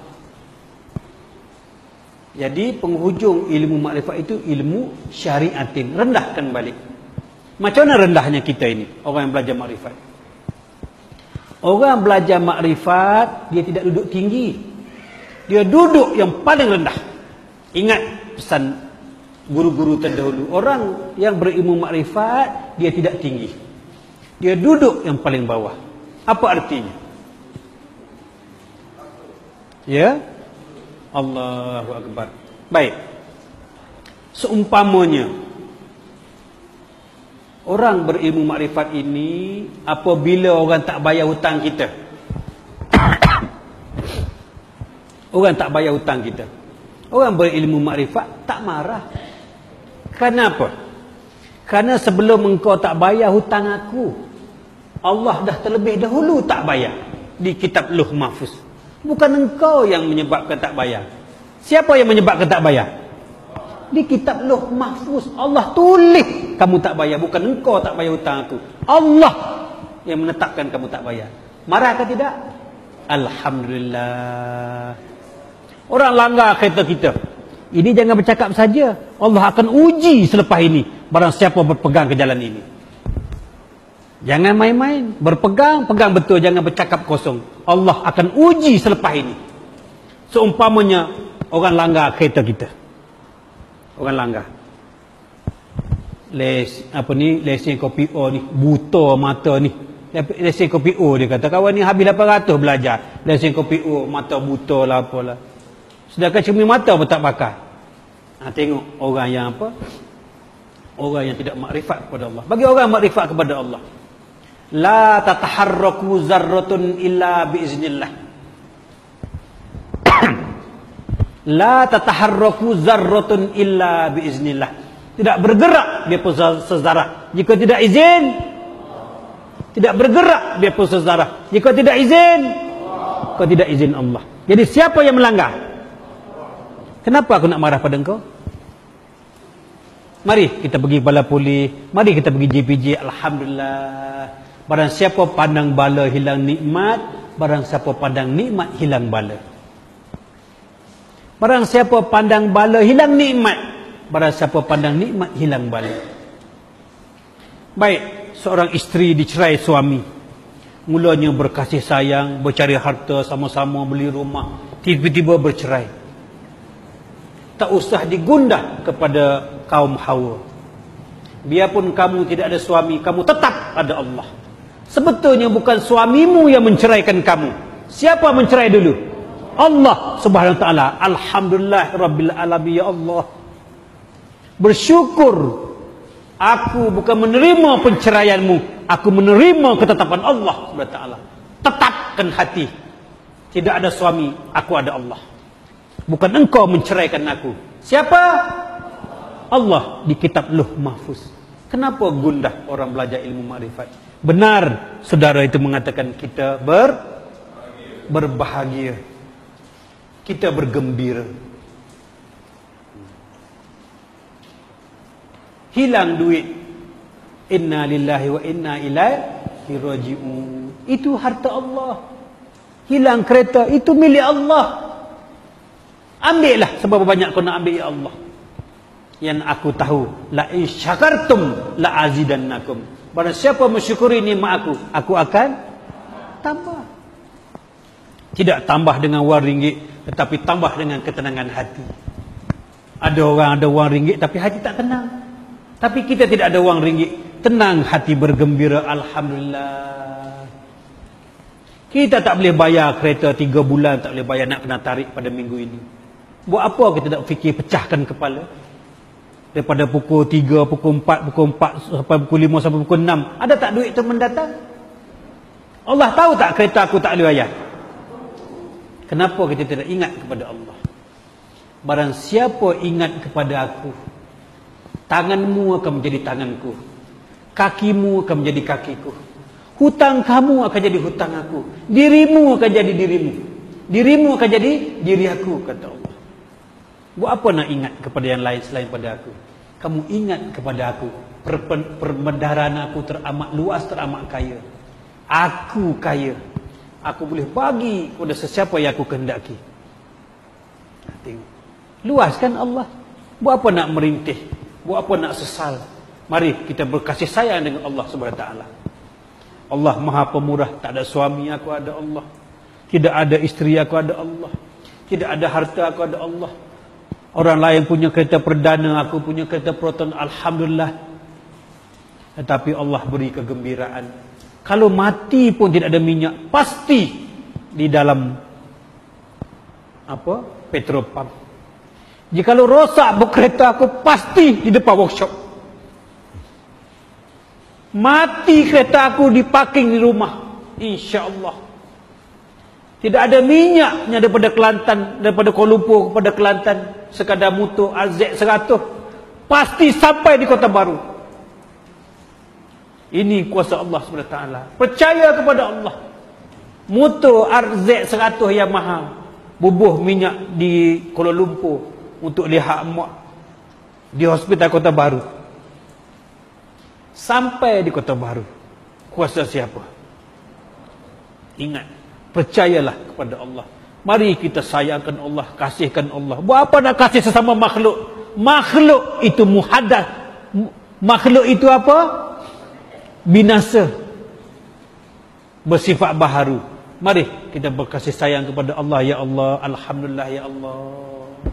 Kalau aku sakit Sakit daripada siapa ya Allah Obat tidak boleh menyembuhkan penyakit Badan siapa mengatakan obat boleh menyembuhkan penyakit syirik? Kepada Allah.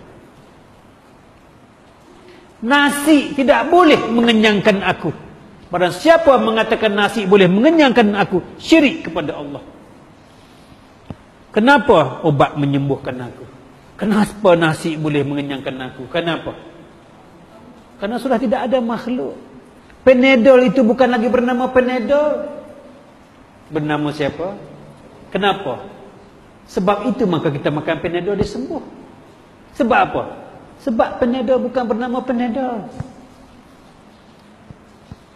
Obat tidak boleh menyembuhkan. Kenapa kalau kita sakit tak makan penedol tak boleh sembuh? Makan penedol baru sembuh kenapa? Sedangkan kita percaya penedol tak boleh menyembuhkan. Kalau tak makan penedol, tak sembuh. Tak cucuk ubat bius, akan merasa sakit. Apakah ubat bius yang membuatkan kita tak sakit? Sebab apa kita makan ubat sembuh? Sebab obat itu siapa? Makanya kita sembuh. Obat tidak ada. Diri tidak ada. Makhluk tidak ada. Siapa yang bersifat ada? Makanya kamu makan itu sembuh penyakit. Makanya kau makan nasi itu kenyang. Sebab segala-galanya sudah Allah, Allah, Allah. Mana ada makhluk? Padahal siapa dalam majlis ini mengatakan ada makhluk? Syirik kepada Allah. Karena mengadakan dua wujud. Aku ada, Allah ada. Wujud arti apa? Sifat siapa? Makhluk ada tidak? Tak ada. Siapa penedor? Segala-galanya Allah. Allah, Allah, Allah, Allah. Habis. Bab nombor dua pula. Oh, nombor satu berapa jam dah? Ha, berapa pula?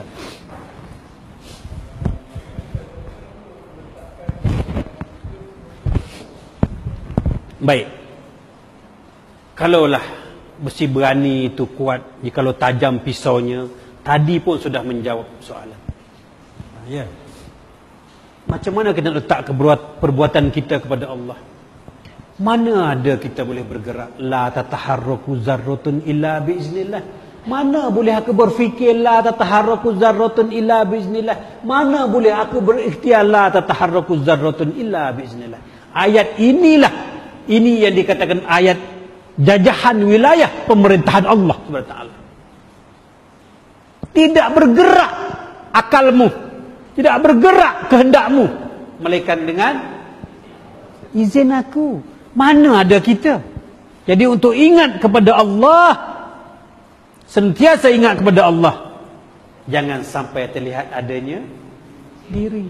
Jangan sampai Terlihat adanya Diri. Aku tidak ada ya Allah. Apabila aku tidak ada Siapa yang melangkah? Tidaklah engkau melontar ya Muhammad. Siapa yang melontar? Kenapa? Karena engkau tidak ada ya Muhammad Habis nombor dua ya. Baik. Ya. Baik. Tuan-tuan balik tilik dan cermin diri sendiri. Itu semua istilah saja. Wajahlah, rupalah, lagi apa? Mukalah, itu istilah saja. Ya tuan-tuan lihat tu siapa? Nak sebut apa? Yang aku lihat tu diriku sendiri. Ini sebut wajah lah, muka lah, gambar lah itu istilah bahasa saja. Barang siapa yang mengenal Allah. Tidaklah dia menilik. Malaikat yang menilik itu adalah juga yang ditilik. Sebab aku dah tak ada. Macam mana aku nak menilik? Aku dah tak ada. Apabila aku tidak ada. Siapa yang menilik siapa? Yang menilik itu adalah juga yang ditilik. Yang menyembah itu adalah juga yang disembah. Kenapa? Karena bukan aku yang berdiri. Bukan aku yang rukuk. Bukan aku yang sujud. Tengok dalam lafaz. Niat. Sahaja aku sembahyang maghrib tiga rakaat. Tengok. Kenapa kita sebut sahaja? Sebab kita saja-saja je buat. Yang betul-betul buat siapa? Itu makanya kita sebut sahaja. Sahaja ni artinya saja-saja. Apabila kita saja-saja, siapa yang betul-betul buat? Itu maka sebelum sembahyang kena belajar dulu. Siapa sembahyang sebelum sembahyang? Sembahyang di dalam sembahyang, sembahyang sesudah sembahyang. Ada tak belajar? Habis kalau tak ada sembahyang macam mana? Nak kenal sembahyang macam mana kalau tak tahu sembahyang sebelum sembahyang, sembahyang di dalam sembahyang, sembahyang sudah sembahyang. Siapa yang solat sebelum solat? Sebelum kita beranak lagi siapa yang solat? Ha, itu makanya solat sebelum solat. Sembahyang sebelum sembahyang itu siapa sembahyang dulu di luhur mahfuz? Catatan Allah dah sembahyang dah. Bukan kamu yang bersembahyang. Berdirinya kamu sembahyang maghrib tadi bukan perkara baru. Jangan ingat atas dasar usaha kamu jangan. Bukan perkara baru itu. Yang berdirinya aku bila yang berdiri dulu? Siapa yang berdiri dulu? Ha, tahu pun. Itu makanya jangan kamu angkuh Jangan kamu sombong hidup di dunia ini. Jangan mengaku kamu yang alim, kamu yang lebay, kamu yang apa nama? Taat, patuh. Jangan. Yang beri taat dia siapa? Nah, itu makanya jangan tunjuk alim di sini. Majlis kita tak ada orang alim, tak ada ustaz, tak ada guru. Tak ada murid. Yang ada hanya siapa? Ha. Eh aku semayang. Bila kau semayang? Sebelum kau berdiri Aku dah dirikan kau terlebih dulu Di loh mahfuz. Betul tidak? Kenapa mengaku kau yang bersemayang? Itu mana kita tak kenal Sembahyang sebelum sembahyang. Solat sebelum solat. Solat dalam solat. Solat sesudah solat itu siapa? Solat sesudah solat siapa? Allah. Jadi ingat. Itu makanya Yang menyembah itu Adalah juga yang disembah yang menilik itu adalah juga yang ditilik. Sebab apa? Sebab aku tidak ada. Ya, jadi wajah itu satu saja bukan dua. Tak ada dua tiganya. Fa aina ma tuwalu fasama wajhullah. Ada dua rupa. Satu saja ya. Habis. Ini sambung anda.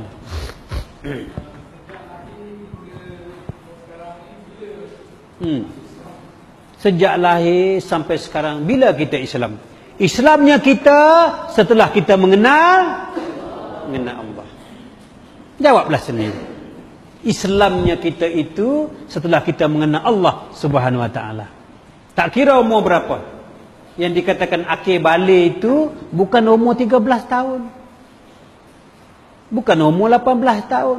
Yang dikata akhir balik itu setelah mengenal mengenal Allah SWT barulah dikatakan dewasa. Kalau selagi belum mengenal Allah, umur 99 tahun pun masih akhir balik. Bodoh. Masih tidak berpengetahuan. Orang yang mengenal Allah saja ya, yang cerdik, yang pandai, yang pintar, yang betul-betul Islam. Habis itu nah. Lagi apa lagi?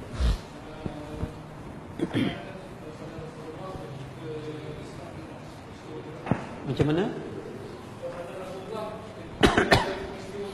Baik, sahabat-sahabat, itu soalan fiqah. Usahkan kita, malaikat pun tak boleh pergi. Macam mana kita nak tahu? Tetapi itu tak jadi persoalan. Yang pokoknya, tuan-tuan kenal tak Muhammad Rasulullah? Kenal tak? Kenal tidak Muhammad Rasulullah?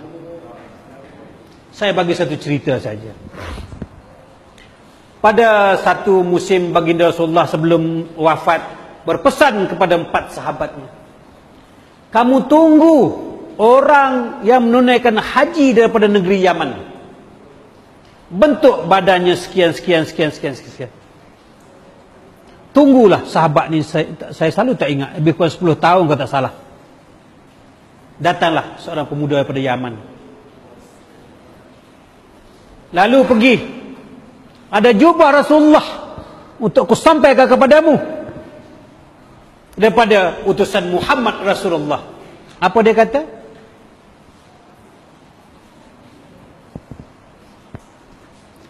Dia nama apa? Warakah. Ya. Uh, uh, Uis Karni. Uis Karni. Dia kata apa? Uis Karni kata apa? Engkau belum mengenal Muhammad Rasulullah melenting Serina Ali. Aku ini menantu Serina Ali. Siapa tak kenal aku seantero dunia mengenal aku Serina Ali? Kenapa kamu tak kenal? Belum. Kamu belum mengenal Muhammad Rasulullah. Tengok. Pernahkah? Apa nama tadi? Uis Karni itu melihat Rasulullah. Belum pernah. Dia nak pergi tetapi mak dia sakit tak jadi pergi tak pernah berjumpa Uis Karni dengan baginda Rasulullah.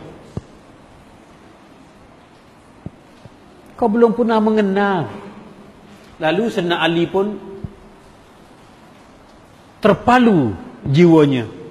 Benar ya Uis Karni. Benar katamu.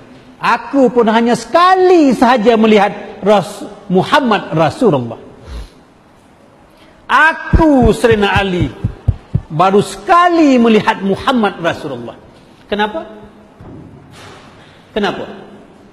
Sedangkan dia semakan seminum seduduk tidur seduduk setika sebantah seruh sejasad dengan Nabi Muhammad. Kenapa tak boleh mengenal? Kenapa? Tengok tuan-tuan dan puan-puan muslimin muslimat. Terbukanya mata Nabi Adam. Nampak apa? Kuat gak sikit. Terbukanya mula-mula buka Nabi Adam. Mata dia tu mula-mula buka. Nampak apa? Muhammad Rasulullah. Nabi Muhammad dah beranak ke belum? Hmm, itu makanya. Kena cari itu. Saya tulis dalam blog saya itu. Buka blog saya itu. Dengan panjang lebar. Jelas. Tak payah cerita di sini. Balik buka makrifat tok kenali at gmail.com tulisan anda. Tulis. Kalau kita tak ada komputer, suruh anak kita buka. Saya ada tulis dengan panjang lebar. Kalau nak terang lagi, maknanya buang masa kita. Ya. Cari. Mana Muhammad Rasulullah? Jangan pula mengatakan dua Nabi. Ha, tengok, ini kamera semua ni. Jangan kata ada dua Nabi pula. Nabi satu. Yang saya katakan ini Muhammad Rasulullah. Muhammad mana? Muhammad yang mula-mula Allah pandang. Muhammad mana? Muhammad yang dimaksudkan oleh Uis Karni. Cuba bayangkan Nabi kita Ada tak dia mengucap La ilaha illallah anna Rasulullah Ada tak?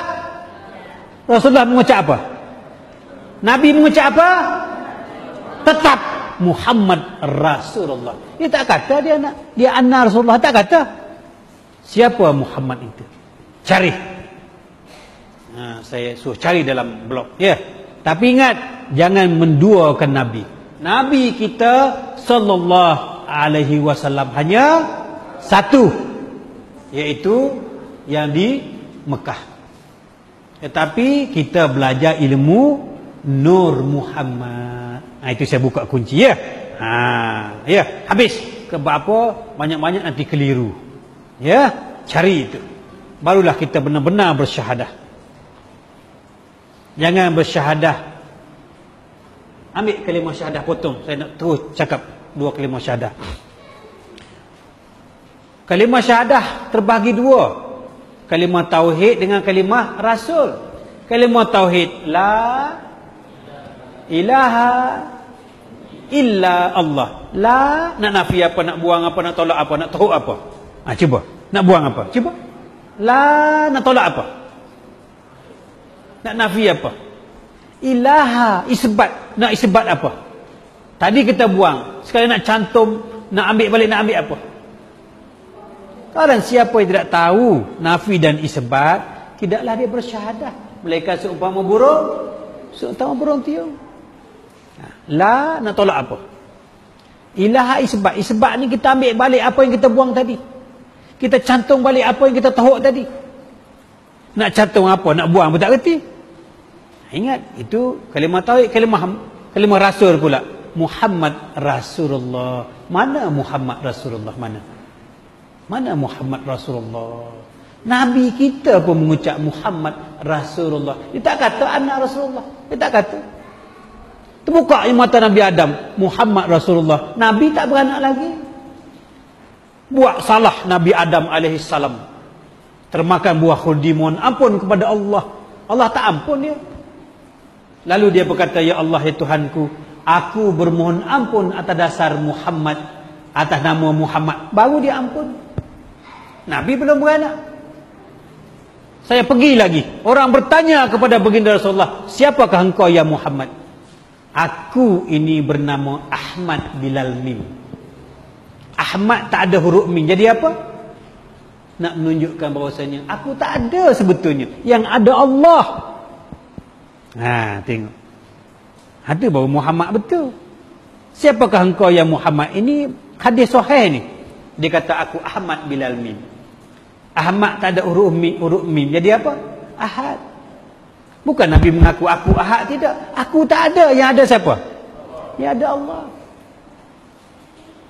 Satu lagi saya tak nak cakap. Nanti bagi mudah faham sangat dah. Ha, saya nak gantung situ sikit. Baca. Apa ni blog makrifat untuk kenali at gmail.com ya. Yeah. Baik lagi potong yang dah cakap tu. Banyak lagi tak cakap tu. Baik. Tuan-tuan tahu tak khalifah ni siapa? Ha. Khalifah ni tubuh badan ke siapa?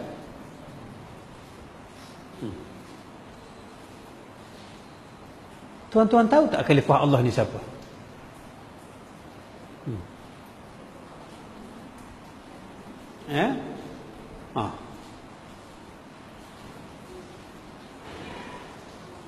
Saya ni sama nak cerita ke tidak sama banyak tu nak ceritakan tak apa yang khalifah itu yang bertanya telefon saya sendiri cara direct ya uh, takut terkeliru ya telefon. Ambil boleh tulis nombor telefon. Malam ni pun boleh. Saya akan bagi jawapan. Ya saya tak nak kena apa banyak budak-budak. Ya banyak yang baru tinggi rendah. Tidak fatonah saya. Ya siapa yang bertanya tadi? Telefon saya sekarang. Ya nombor lain.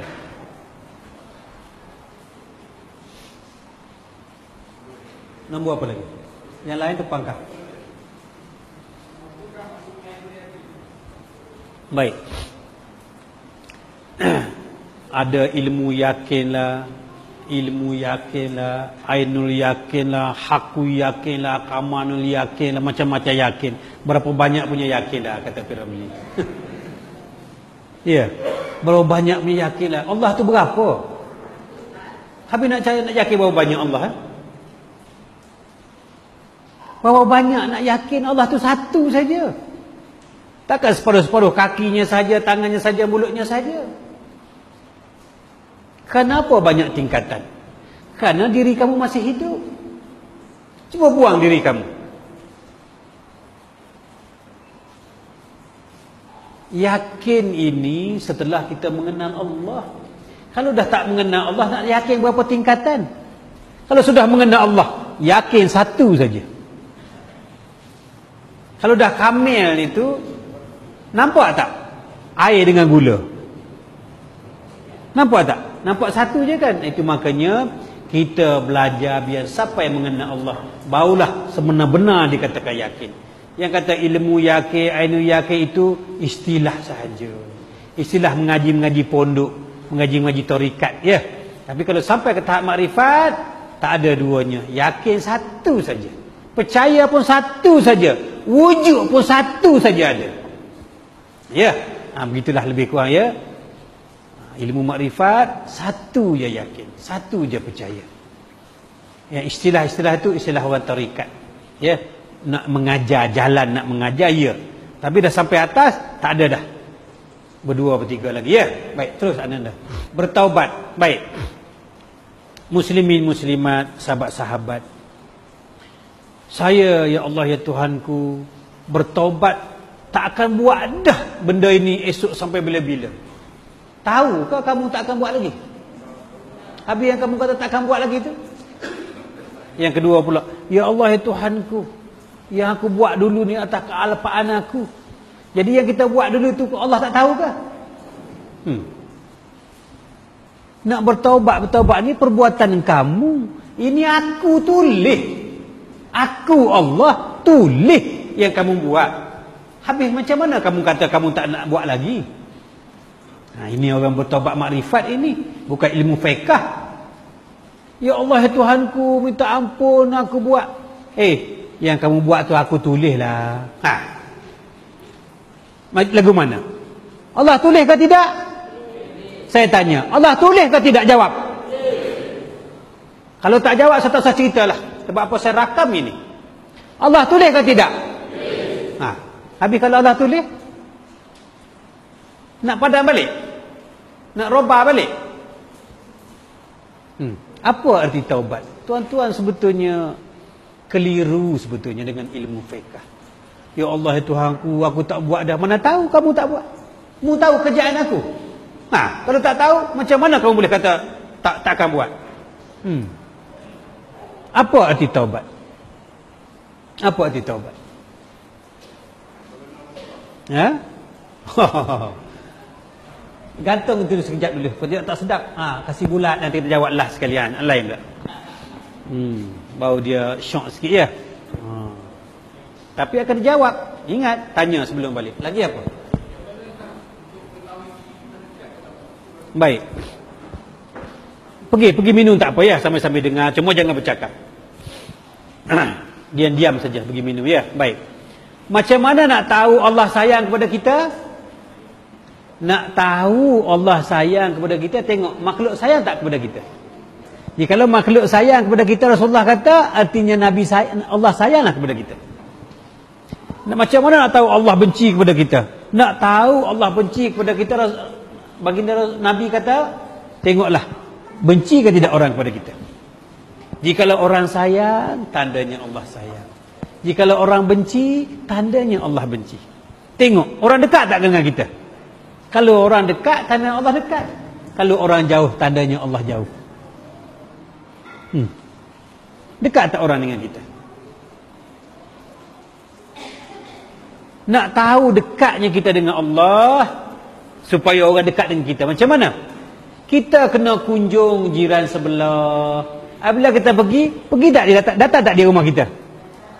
Apabila hujan, kita tolong angkat jemuran dia. Dia angkat tak jemuran kita? Masa anak dia meninggal, kita pergi ke hospital, pergi ke rumah. Datang tak dia ke rumah kita? Dekat tidak? Hmm. Itu makanya tuan-tuan anggap benda tu jauh. Sebetulnya tidak. Kita bertegur orang tak tegur kita pun tegur. Kita tegur orang lama-lama tegur tak ada dengan kita. Dekat tidak. Itu saja tanda-tanda tahu nak tahu dekat ke jauhnya kita dengan Allah. Kalau kita sombong naik kereta besar, tengok orang yang wasak kereta tepi jalan tak berhenti, ini orang yang jauh dengan Allah. Itu saja sipir dia. Orang yang dekat dengan Allah ini macam mana pun dia break juga kereta dia break. Dia gustan lagi tahu. Apa pak cik yang boleh saya bantu? Ini orang yang dekat dengan Allah. Orang makrifat ini cara dia.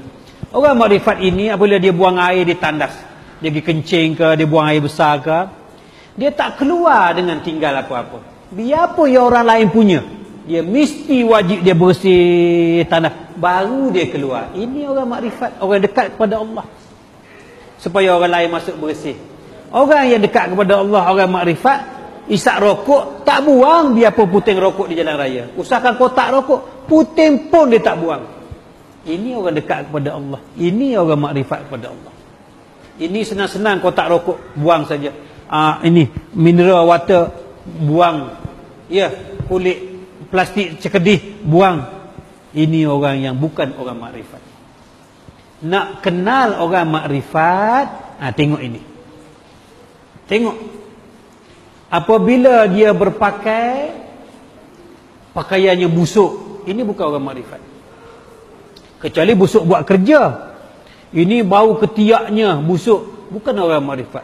Giginya berkarat bukan orang makrifat. Orang makrifat ini orang paling halus. Paling kebak apa-apa halus ini paling apa? Paling particular kata orang putih. Paling teliti. Nah, ini orang makrifat. Apabila suami isteri orang makrifat ini ini dengar pesanan saya buat apa yang saya suruh ini. Ya seumpama sahabat-sahabat saya ada di sini ni sahabat-sahabat saya. Dia balik saya pesan jika kamu nak mengaji dengan saya jika anggap saya sebagai cikgu ingat di samping saya mengajar mengenai Allah saya nak ajar kamu cara bersuami isteri. Apabila kamu balik kamu peluk isteri kamu. Kamu cium isteri kamu. Cuba tengok waktu tidur waktu isteri kita tidur cuba tengok wajah dia. Betapa pilu dan betapa sebabnya hati. Inilah orang yang masakkan saya. Inilah orang yang cuci baju aku. Inilah orang yang menjaga anak aku. Tidakkah rasa timbul kasihan dan kasihnya? Apa salah kita perlu isteri kita? Apa salah kita berjalan pimpin tangan? Apa salah nak pergi kerja kita gosok baju? Apa salah kita letakkan selipar kasut depan rumah? Apa salah kalau kita cuci baju cuci toilet ini orang makrifat. Peluk isteri, dia kan isteri kita. Apa salah kita tengok TV, kita sambil duduk letak usap, usapkan rambutnya apa salah? Orang makrifat ini cara hidup dia. Inilah keedah menterjemahkan ilmu makrifat dalam kehidupan. Padam itu. Ah, Jangan saja ada janggut, minta maaf ya ada janggut, bos rebe janggutnya. Janggut tak apa, biar kemas, biar rapi. Gigi, ha, nak suruh isteri peluk, tiba-tiba kita balik bawa lori terus peluk isteri dengan bau hapaknya. Orang makrifat tak macam tu. Orang makrifat ni macam ni. Seumpama timbunan batu.